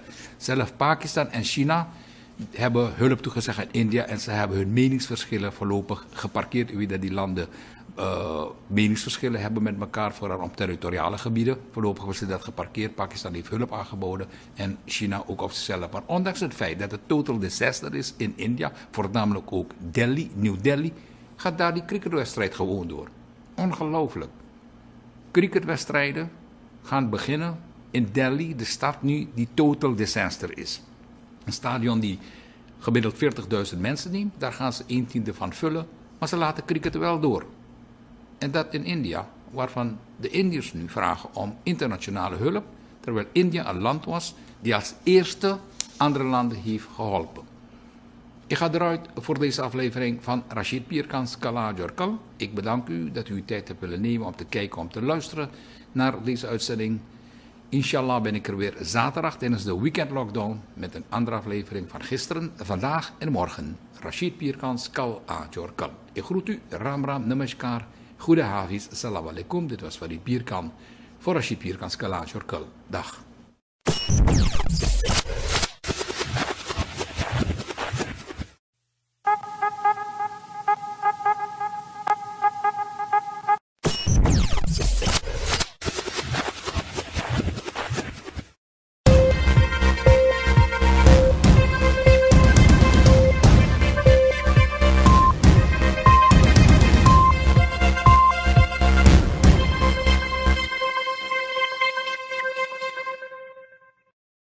68 COVID-19 positief geteste personen zijn donderdag geregistreerd. Er zijn donderdag 349 tests uitgevoerd. 40 patiënten zijn donderdag genezen verklaard. In intensive care units liggen 22 patiënten en buiten de ICU's worden 116 personen verpleegd. 290 positief geteste personen bevinden zich nu in isolatie. Het totaal aantal positieve besmettingen sinds de aanvang van de COVID-pandemie bedraagt 10.286.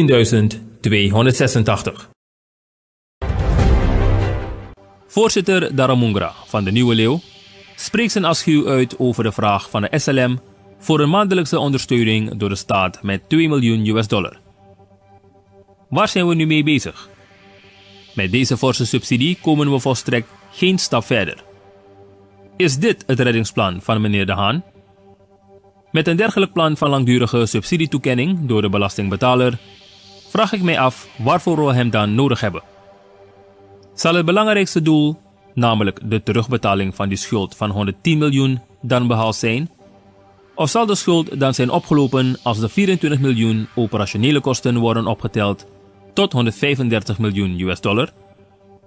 Is dat niet het geval, dan zijn we in feite geen meter verder gekomen, concludeert hij. Het lichaam van het op zondag 25 april in de Suriname-rivier bij het dorp Dome tijdens het baden met familieleden verdwenen 11-jarig meisje is woensdag geborgen. De politie van het bureau Jumu kreeg zondag 25 april een melding dat de 11-jarige Damesia Amoussi tijdens het zwemmen in de Suriname-rivier was verdwenen. Tijdens het onderzoek van de politie bleek dat het meisje met andere familieleden van het dorp Dome te boven Suriname was gaan baden in de rivier. Op een bepaald moment verdween het meisje in de diepte, aldus de politie. Een oom schoot op hulpgroep van een ander kind het slachtoffer te hulp, maar zij was nergens meer te vinden. Het vermoeden bestond dat zij met de stroom was meegesleurd en in de diepte was verdwenen. Een zoekactie van de politie, familieleden en dorpelingen leverde niets op. Het lichaam van het meisje werd woensdag in verre staat van ontbinding, anderhalve kilometer verwijderd, van het dorp Dome aangetroffen. Na afstemming met het Openbaar Ministerie werd het lichaam afgestaan aan de nabestaanden. Doordat we nu in de regentijd zitten tot midden augustus, hebben heel wat omgevingen in ons land last van water. We noemen dat wateroverlast. Bijna alle buurten lopen onder water door de, ons afwateringssysteem. Ook in bepaalde gebieden lopen zelf landbouwterreinen onder water. In verband hiermee praten we met de districtcommissaris van district Wanika, dan wel Wanika Noordwest. We praten met de DC Churaksha Hirasing. Districtscommissaris, welkom en bedankt dat u met mij in gesprek wil hierover en dan specifiek onder andere over wateroverlasten. Hoe groot is het probleem bij jullie in het gebied dat onder jouw beheer valt? Uh, goeiedag iedereen. Goeiedag uh, meneer Pikhan. Um, het gebied hier op Wanika Noordwest bestaat uit een deel van Kwata, uh, een groot deel van Kwarasang en Saramakapolder. Dus dat zijn de leidingen. mensen kennen dat als de leidingen. Commissaris Weitingweg en omgeving. En welke, welke problemen kom je daar tegen in die gebieden? Welke specifieke problemen? Um, de grootste problemen die ik tot nu toe ben tegengekomen is uh, natuurlijk de slechte wegen. Uh, nu met de regen is het uh, natuurlijk die wateroverlast, dat, die wateroverlast ja. Um, eigenlijk moet de vraag gesteld worden, waar is niet onder water? Zo erg is het nu vanwege die extreme regen die er is. Omdat u dan toch zo graag die vraag wil omdraaien, dan wil ik die vraag stellen, waar is niet onder water? Ja, um, eigenlijk de hoofdwegen, dus commissaris Wijdingweg zelf mm um, en omliggende panden een beetje bij, aan de commissaris Wijdingweg. Uh, is ook wel onder water, maar dan zie je dus dat er een, strook tussenin toch wel nog even te zien is, asfalt. Maar alle omliggende, de zijwegen vanaf de Narsing-project, Houraweg, uh, al die zijwegen aan de zuidelijke zijde, ook de noordelijke zijde, liggen onder water. Ja, dus als we ervan uitgaan dat die gebieden onder water zijn, dan heb ik het nog niet zozeer over die slechtere wegen. Dat ze onder water zijn, betekent dat er iets is aan zo'n afwateringssysteem. Dat betekent dat de kanalen als zodanig niet tijdig of jaren mogelijk niet zijn onderhouden geworden. Wat, wat hebt u de afgelopen periode er tegen gedaan en wat kunt u nog doen? Oké, de afgelopen tijden, zeker ongeveer twee, drie maanden geleden, uh, daar voor waren we al begonnen met het althans de meest urgente gebieden die zeker opgehaald moeten worden. En we zijn dan daarmee wel begonnen samen met OW en uh, Surswam, dus LVV. Uh, waarom um, heb ik uh, LVV en Surswam en dus OW gevraagd? Omdat wij zelf geen machines hebben. Het commissariaat heeft dat niet ter beschikking. Mm -hmm. En toen hebben we listings gemaakt van de gebieden, de lozingen, kanalen. En dan hebben we OW in het, dus gevraagd om assistentie. En waar dus uh, landbouwgebieden zijn, hebben we dan uh, eh, LVV gevraagd om assistentie. En die heeft dan verder de Surswam uh, gevraagd om in te spelen. Ja. En een aantal uh, zijn wel opgehaald. En frappant is dat juist die gebieden ook nog steeds of weer onder water liggen. Maar dat geeft ook aan dat er echt extreem veel regen is. En bepaalde gebieden dus het water niet kan wegtrekken, omdat los die um, kleppen van uh, de pompgemalen, of althans uh, sluizen, sluisdeuren, kunnen ook niet opengemaakt worden. Anders krijg je ook rivierwater naar binnen. Dus dat speelt ook, want het waterstand van de rivier is nu ook hoger dan, ja, dan, de, dan de kanalen zelf. Dus dan ga je dus krijgen dat het water ook naar binnen komt. Dus veel kunnen we niet doen daaraan op dit moment. Um, wat ik wel erbij wil zeggen is, um, bepaalde hoofdkanalen, bijvoorbeeld Saramaka-kanaal, is in geen jaren, misschien volgens mij 40 of langer, is het niet opgehaald. Um, er is ook uh, iets dat je hebt ook een structurele aanpak natuurlijk nodig. Um, je hebt in plaats van sluizen op, in bepaalde gebieden ook wel pompgemalen nodig. Die dus eigenlijk uh, het watertoevoer uh, op in, ja, op, in een grotere hoeveelheid zou kunnen wegpompen. Dus, um, en die dingen moeten dus dan wel zo structureel aangepakt worden. En dat is uh, in geen jaren, zeker 30, 40 jaar, is dat niet gebeurd. Ja, deze, als ik uh, naar u luister en de mensen ook, en dan is dat een waarschijnlijk een droevige mededeling dat het probleem vooralsnog uh, nog niet wordt opgelost worden dat ze droog komen te zitten.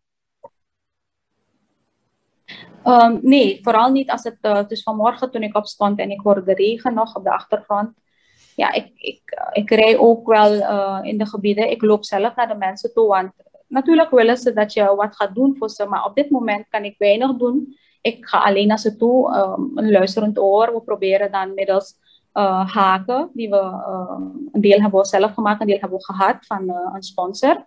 Dat is een, gewoon een ijzeren haak met een, met een lange steel. Proberen we dan die die dagoeblad en al dat soort overwoekerd gras uh, over de lozingen proberen we dan middels een bootje dan te trekken, eruit te trekken, zodat het water toch wel een beetje kan wegstromen. Maar waar gaat het naartoe? Dus uh, we proberen de mensen op een of andere manier te helpen, moed in te spreken, de landbouwers vooral. Maar ik, ik snap wel dat ze dus heel erg verbitterd zijn nu en ze willen, ja, gisteren waren we ook met de president in het veld, ze willen gecompenseerd worden. En ik begreep dus ook dat er uh, wat geld, financiën dus vrijgemaakt is uh, voor hen die dus behoorlijke schade hebben geleden. Um, en dus dat moeten we dus nu gaan inventariseren. We hebben de gebieden uh, zo'n beetje geïnventariseerd, maar um, we gaan dat gezamenlijk met het team van uh, een aantal departementen moeten doen om deze gebieden, dus althans de schade die er geleden is, goed te kunnen identificeren en op te meten. En de bestuursdienst kan dat niet alleen. Vandaar dus dat de president ook heeft gesproken over een crisisteam. Oké, okay. maar met die zandwegen, daaraan kan wel wat gedaan worden. Dat is gewoon zand aanrukken. Ja, dus um, zandwegen, uh, u bedoelt het egaliseren van de zandwegen, bedoelt u dat? Ja, correct. Ja, um, ja. wij hebben uh, daarvoor ook niet alle tools in huis. We hebben wel een, een, een, ja, een tractor die met een, uh, met een, met een schreeuwel. Dus misschien dat zou kunnen egaliseren, maar uh, het is vrij klein. Veel kan je niet doen, want dat kost ook allemaal heel veel brandstof. Ja, ja. Uh, en dat hebben we ook. Soms komen buurtbewoners bepaalde wegen, willen dus dan wel inkomen. Dus heb je dan een beetje burgerparticipatie. Waardoor we dan onze machines sturen, onze veldarbeiders. En dan uh, wordt het wel geëgaliseerd. Maar ja, de financiën zijn er niet eens om een beetje zandposten te kopen soms. Dus ja. uh, um, dat, dat, speelt nu echt ja. bij ons, ja. Okay. Um, we draaien trouwens, ja. Ja, ik begrijp dat dat voor grote zaken u dat niet op uw begroting hebt, want u hebt overigens heel weinig geld en u hebt ook geen materialen. Maar wat, uh, welke bijdrage levert OW uh, op dit gebied en LVV, vooral wat, wat die zandwegen aangaat? Want dan heb je uh, ja, zwaardere machines hoogwaarschijnlijk voor nodig, maar hebben zij wat eraan gedaan? Want we weten wanneer de regentijd komt, onze seizoenen zijn bekend. Ja, um, we hebben dus Kijk, waar, er, um, waar de wegen heel erg slecht waren, hebben we dus doorgegeven. Maar het is eigenlijk meer een beetje een soort brandjes, brandjesblussen geweest al, al die tijd. Um, we hebben bijvoorbeeld uh, een coördinator die gaat over heel Wanica. Maar heel Wanica heeft ook maar één grader. Dus dat, dat krijg je, ja, daar heb je een, uh, je kan dan niet overal aanwezig zijn. Je gaat dan ook ja, ja. alleen maar waar de mensen echt niet meer door de straat kunnen. Um, dan stuur je de grader daar naartoe. Maar dan je gaat ook wel bekijken hoeveel huishoudens zijn er daar. Uh, hoeveel auto's moeten over die weg rijden. Het is wel oneerlijk natuurlijk. Maar we proberen zodoende dan de mensen een beetje te helpen. Dus dat, uh, weet je, de wegen die het meest uh, bereden worden waren, heb je veel mensen ja. die wonen.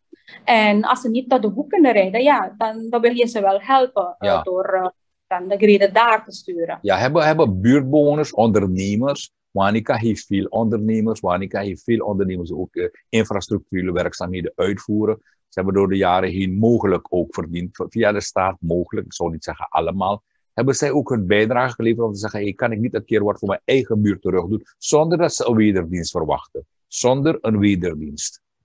Ja, kijk, ik, uh, bij, uh, bij mijn aantreden, dus toen ik er pas was, nu ben ik een beetje oud geworden volgens mij. okay. um, kregen we, ik bedoel oud dat ik dus nu al acht maanden verder ben. Uh, we kregen dus heel wat donateurs binnen. Uh, we hebben brushcutters gehad, we hebben rugspuit gehad. Ik zei ook net, uh, we hebben recentelijk nog die haken gehad. een, een lasser heeft dus dat voor ons gemaakt, omdat ze hebben gezien dat we het gebruiken. Um, en ze, hebben, ze zijn wel op een of ander moment, zijn bepaalde ondernemers hier wel ingekomen met brandstof. Uh, degene dus die zelf uh, een service station hebben. Um, dus zo hebben we wel donaties binnen gehad. Um, de mensen, de buurtbewoners, soms gaan ze zelf naar, naar enkele ondernemers toe om geld op te halen, zodat hun wegen, bijvoorbeeld recentelijk nog is een van de bekende wegen, Richard van is precies zo ook uh, met waste door ons verspreid, maar de buurtbewoners hebben dat zelf aangeschaft en met sponsors. Dus zo heb je wel een beetje burgerparticipatie en participatie van de ondernemers. Maar ja, ze kunnen natuurlijk niet altijd inkomen, want uh, zo krijg je een heleboel andere sociale gevallen over de vloer op het commissariaat, die we dan ook, ja, we vragen dan ook donateurs om uh, in te spelen. DC Shuraksna Hiran Singh, districtscommissaris van Wanika Noordwest, mag ik u bedanken voor dit gesprek. Alsjeblieft, graag gedaan. President Chandrika Persat Santokhi heeft woensdag 28 april een virtuele ontmoeting gehad met de plaatsvervangend directeur van het Internationaal Monetair Fonds, Mitsuhuri Furusawa. De gesprekken met het IMF bevinden zich in een afrondende fase. Maandenlang hebben de hoofdonderhandelaars van Suriname en het IMF, ondersteund door een team van deskundigen aan beide zijden, verschillende exercities gepleegd op basis van beschikbare informatie en beleidvoornemens zoals vastgelegd in het herstelplan van Suriname. Het bereiken van een overeenkomst op technisch niveau, de Staff Level Agreement, is een belangrijke stap op weg naar een door de uitvoerende raad van het IMF goed te keuren economisch herstelprogramma van Suriname. Dat regen geen zegen is voor de Surinaamse wegen, weten iedereen. Ook de Indira Gandhi-weg is geteisterd door de aanhoudende neerslag van de afgelopen dagen Erven liggen blank, de trensen zijn niet meer zichtbaar. De regering heeft ondertussen toegezegd om in te komen met 100 miljoen SAD om de wateroverlast aan te pakken. En ieder hoopt dat er gewerkt wordt met een andere tempo dan wat men gewend is binnen de bureaucratie. Het wordt straks een week waarin delen van de Indira Gandhi-weg blank staan.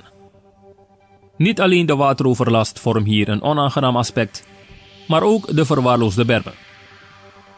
De bermen zijn zodanig dicht begroeid met onkruid dat het de indruk wekt dat het ministerie van OW de bermen niet meer heeft aangeraakt na de komst van de Indiase president Ramnath Kovind in juni 2018.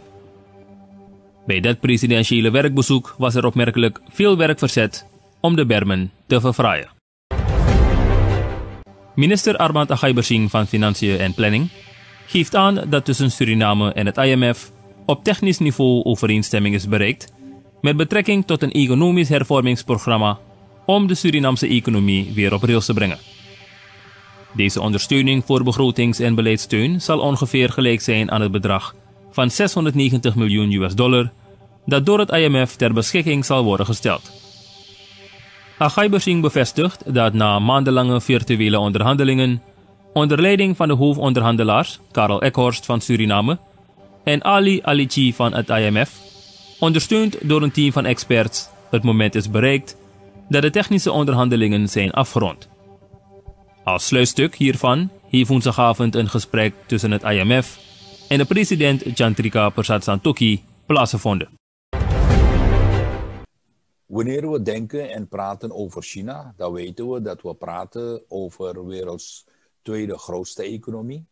We praten over werelds dichtstbevolkste land, uh, samen met India. En als we over China praten, dan denken we direct ook aan het lekker Chinees eten. We denken aan de vele Chinese supermarkten in Suriname. We denken aan de vele Chinese restaurants in Suriname. Maar we hebben ook Surinamers in het land China zelf. En vandaag gaan we praten met Ranesh Chikour. Ranesh studeert in China. En met hem gaan we praten van hoe is hij eigenlijk in China terechtgekomen. Ranesh, welkom. Hoe ben je in China terechtgekomen? Ja, goeiedag uh, meneer Pierkan. Ja, uh, mijn naam is uh, Chico Ranesh. Ik ben op dit moment ben ik 28 jaar, is jong. Um, China, ja. Dus um, ik studeerde al op de, aan de Com Universiteit, studeerde ik elektrotechniek energie. Um, daarna ben ik werkzaam geweest, ook in een Chinees bedrijf in Suriname, maar op telecomgebied. Um, dacht ik van mezelf van, ik moet iets verder doen in mijn leven. So, ik dacht basically, like, laat ik dan een master doen. Maar ik heb niet zomaar gekozen voor mijn master. Ik ben vooronderzoek gaan doen. En toen zag ik dat uh, renewable energy in de toekomst veel gevraagd zal zijn. Omdat de wereld nu op dit moment dus uitstoot van CO2 bezig is te verminderen. Dus ik heb onderzoek gedaan en ik zag dat China de leading role heeft in renewable energy. En dacht ik van, hey, misschien kan ik daar wat proberen. Dus ben ik op zoek gegaan naar scholarships. En heb ik één gevonden bij BOS. Um, en het is me gelukt. En hier ben ik nu. Ja, waar, waar heb je het gevonden? Waar heb je de scholarship gevonden? Uh, BOS, uh, Bureau uh, Onderwijs, die faciliteiten, ja. Geweldig. Juist, ja. Prima, dus je bent met een studiebeurs van, uh, naar China vertrokken? Ja, ik ben met een studiebeurs naar China vertrokken. Oké, okay, geweldig. Aan uh, welke universiteit doe jij deze opleiding? Um, ik ben op de North China Electric Power University. Het is in Beijing is het een van de beste in electrical engineering. Ja, maar eh, ben je ook uh, aan het studeren in andere deelstaten? Nee, nee, nee, nee. nee. Ik ben uh, alleen in Beijing. Alleen Beijing, maar dat is een hele grote stad. Ja, het is een grote stad. En ja, North China Electric Power University is, gevecht, uh, is, is gevestigd in Changping. Is een district in Beijing. Hoe lang duurt deze studie om, voor jou? Deze studie duurt 2,5 jaar. Op dit moment heb ik 1,5 jaar al afgerond. En ik ben nu in mijn afstudeerfase. Oké, okay, ik ga ervan uit dat je dan ook deze studie volgt uh, met meerdere studenten van meerdere landen, met meerdere culturen. Klopt dat? Ja, klopt helemaal. En hoe ga je dan met die studenten om en van welke landen komen ze allemaal en met welke culturele achtergronden zit je, bij, zit je bij elkaar? Ja, dus uh, ik ben de enigste Surinamer in deze universiteit. Er is geen enkel ander Surinamer. Um, er zijn veel mensen van Pakistan, van Bangladesh, van Turkije, En je hebt ook heel veel mensen van Afrika. Qua cultuur verschilt het heel veel. Uh, met de mensen van Pakistan is het simpeler om, om te gaan, want uh, we hebben ongeveer dezelfde cultuur. En jullie lijken uh, met... Ja, dus wat grappig hier is, is uh, dat iedereen ook dacht dat ik van Pakistan was, of, van, India. of van India. Maar ik vond, het, ik vond het heel interessant om te vertellen van dat ik van een heel ander land kom. En iedereen was verrast van dat er ook zo'n land als Suriname bestaat, met mensen zoals ons. En dat we die taal ook kunnen praten, Hindi. Dus uh, dat was een verrassing voor hun. Um, met de Afrikanen um, is het ook heel gezellig om, om, om basically uh, te studeren. Iedereen hier is open. Iedereen heeft, een, heeft basically een verschillende acht, like een achtergrond.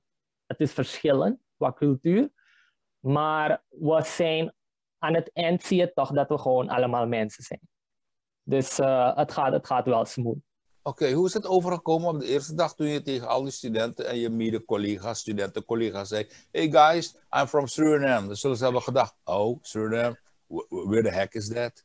dat niemand kende dat land. Precies, ja. Niemand, niemand kende dat land. Ja. Dus toen, toen ik um, in het begin moet je jezelf voorstellen. En uh, toen ik mezelf ging voorstellen, was iedereen like: Suriname?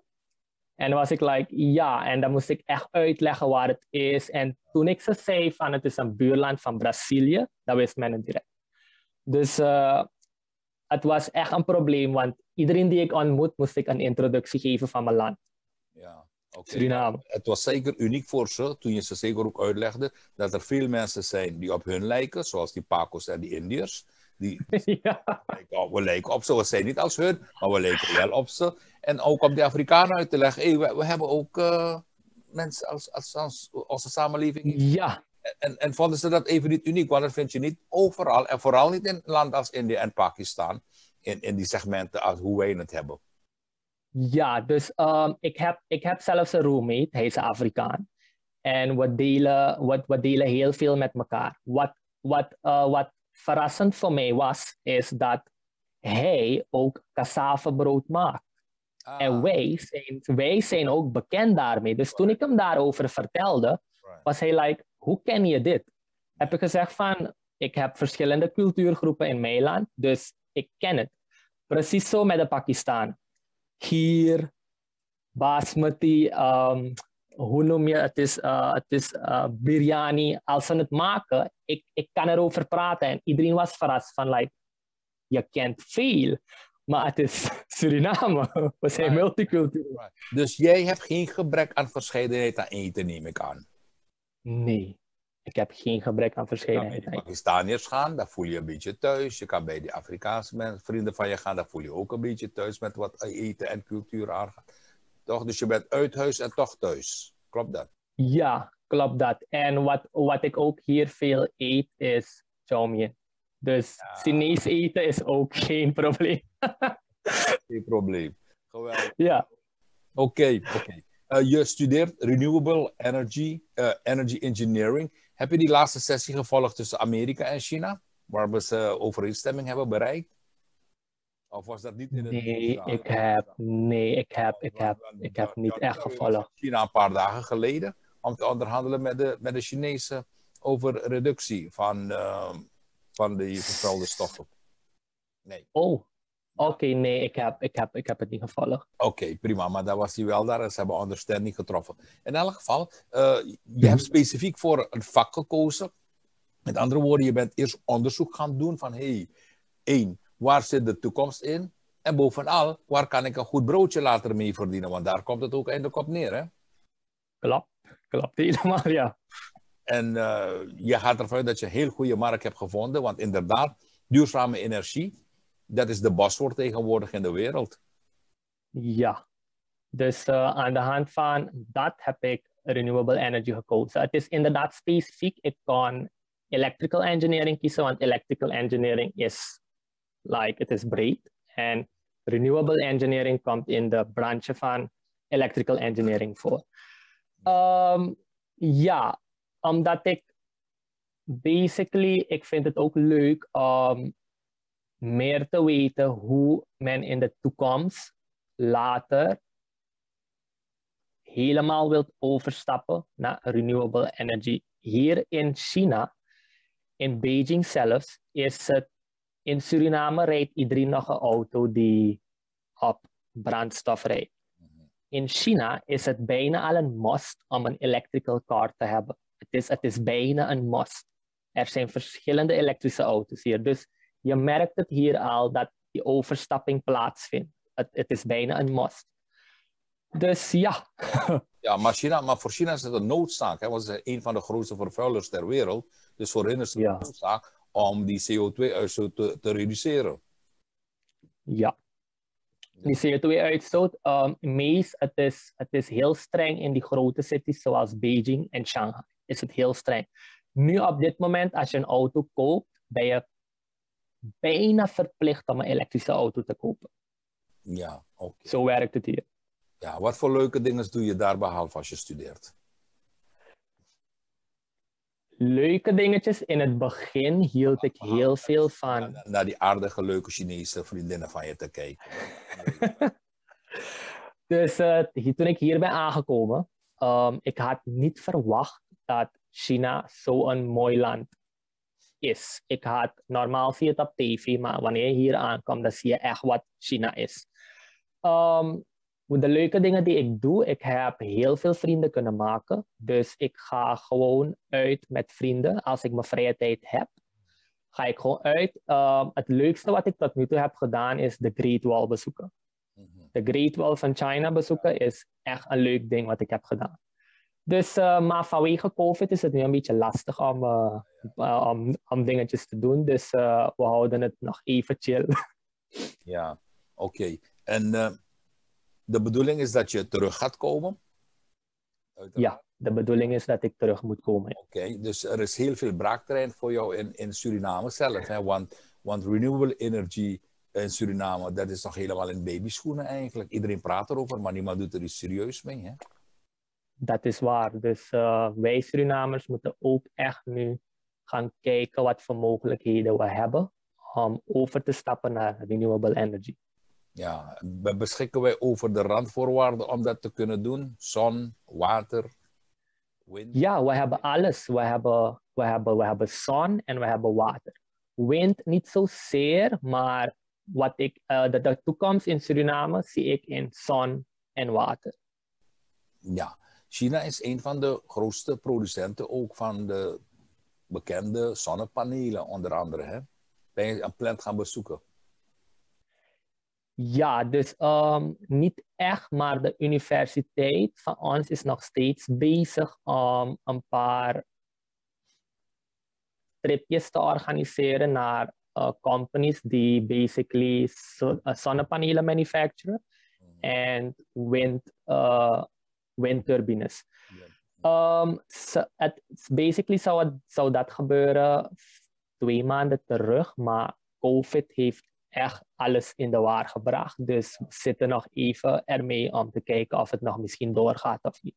Ah, Oké, okay. Ranesh, um, krijg je soms heimwee naar huis? ja, ik mis Suriname. Wat ik van Suriname mis is uh, sowieso mijn ouders, mijn vrienden, mijn familie en natuurlijk Surinaams eten. okay, nu, maar oké, okay. nu ben je wel een post daar. Uh, uh, anderhalf jaar zei je met de post daar. En, maar in de, in de, eerste drie weken toen je daar kwam, uh, moest je toch even volhouden met veel heimwee. Maar nu ben je toch wel een beetje accustomed. Ja, nu, nu is het normaal, maar in het begin was het een beetje lastig. Ja, je mist je ouders, je mist je familie. Wat ook heel lastig was, was de taal. Want als je hier aankomt, kan niemand echt Engels spreken. Dan moet je, heb je echt gewoon, je zit gewoon met de taal. Dus in het begin was het echt translate gebruiken om mensen te vragen van waar alles is, dat lukte of soms ook niet. Maar nu, hoe je nu al, ik ben al 1,5 jaar hier, ik zeg niet dat ik volledig Chinees kan praten, maar een kleine communicatie om te vragen van waar is dit, hoeveel kost dit, kunt u me de weg wijzen. Dus die dingetjes kunnen gewoon, communicatie lukt wel nu een beetje. Oké, dus je zou je familie wel kunnen groeten in het Chinees?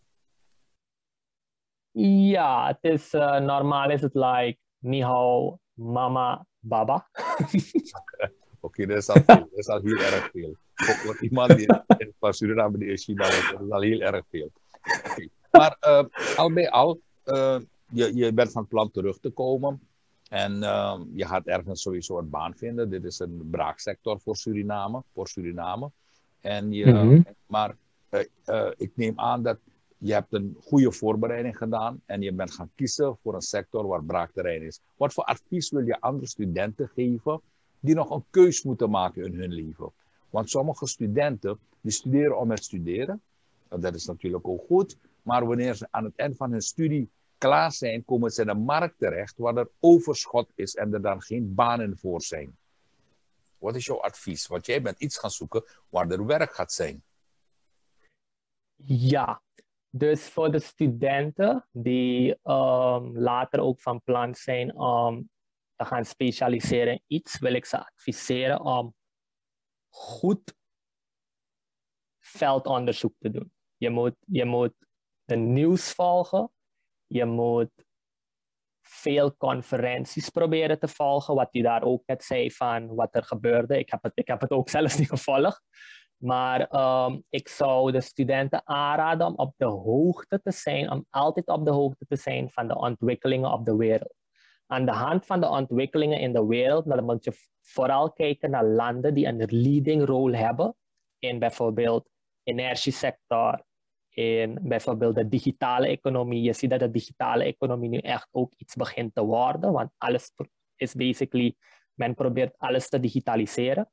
Dus uh, voor die studenten zou ik zeggen van volg de nieuws, volg de recente ontwikkelingen en maak dan aan de hand daarvan bewust een keus van wat je echt wil. Oké, okay, Ranees, tot slot. Als je klaar bent met je studie en je gaat je koffers pakken en je komt terug naar Suriname, behalve datgene wat je hebt geleerd op school, want dat ga je mm -hmm. meenemen, wat hou je over van je 2,5 jaar? China? Wat ik overhoud van mijn 2,5 jaar in China is heel veel vrienden die ik heb gemaakt hier. Um, sowieso door verschillende mensen te ontmoeten, heb, heb ik ook basically een ander beeld gekregen hoe de wereld in elkaar zit. En hoe mensen, en om beter om te gaan met mensen. En uh, elkaar cultuur zeker respecteren.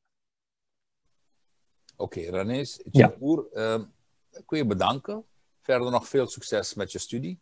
En we mm -hmm. kijken uit als je in Suriname weer bent. En dat jij mensen gaat aanwakkeren met datgene wat je hebt gedaan. En hebt gestudeerd en nog steeds studeert. Renewable Energy Engineering. Ik wens je veel succes. Ja, dank u wel. En tot slot wil ik ook zeggen van uh, studenten die uh, advies nodig hebben, die verder willen studeren, kunnen me ook anytime contacten via Facebook. Ik, ik, ik help ze wel graag. Oké, okay, je mag tot slot nog één ding doen. Groet al je vrienden en groet je familieleden, want je gaat op de tv zijn. ja, dus uh, ik groet als eerst mijn ouders.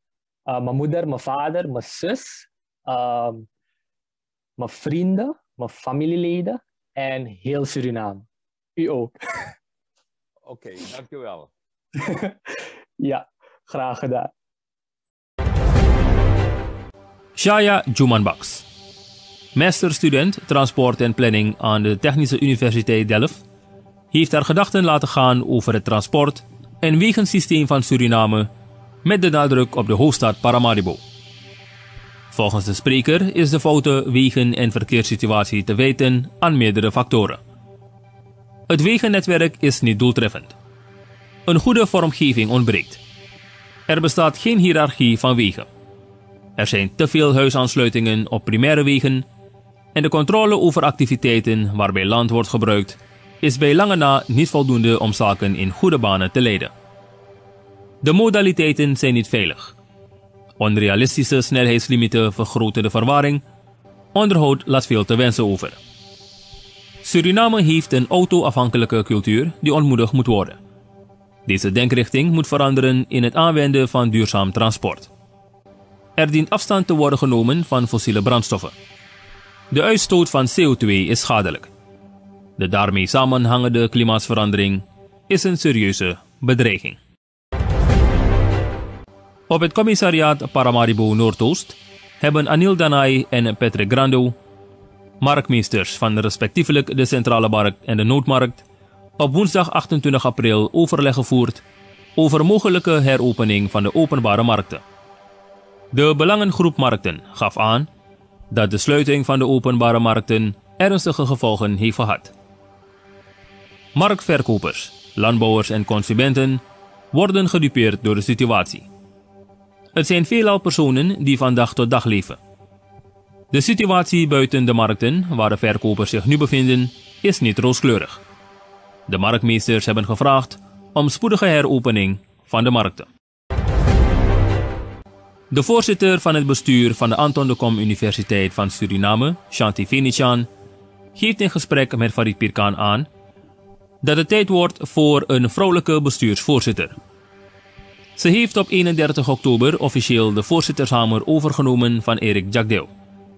Finichan is al meer dan 20 jaar als docent verbonden aan de Adecus. Wat betreft de COVID-19-pandemie en de invloeden op het onderwijs, stelt zij dat het steeds passen en meten is. Het is kijken wat wel of niet kan. Men is zoveel mogelijk overgestapt op digitale manieren. Er waren al faciliteiten, maar die worden nu optimaler gebruikt. De instructies vanuit de regering, het ministerie van Onderwijs en Volksgezondheid, worden opgevolgd. De meeste lasten ondervinden de practicumlessen.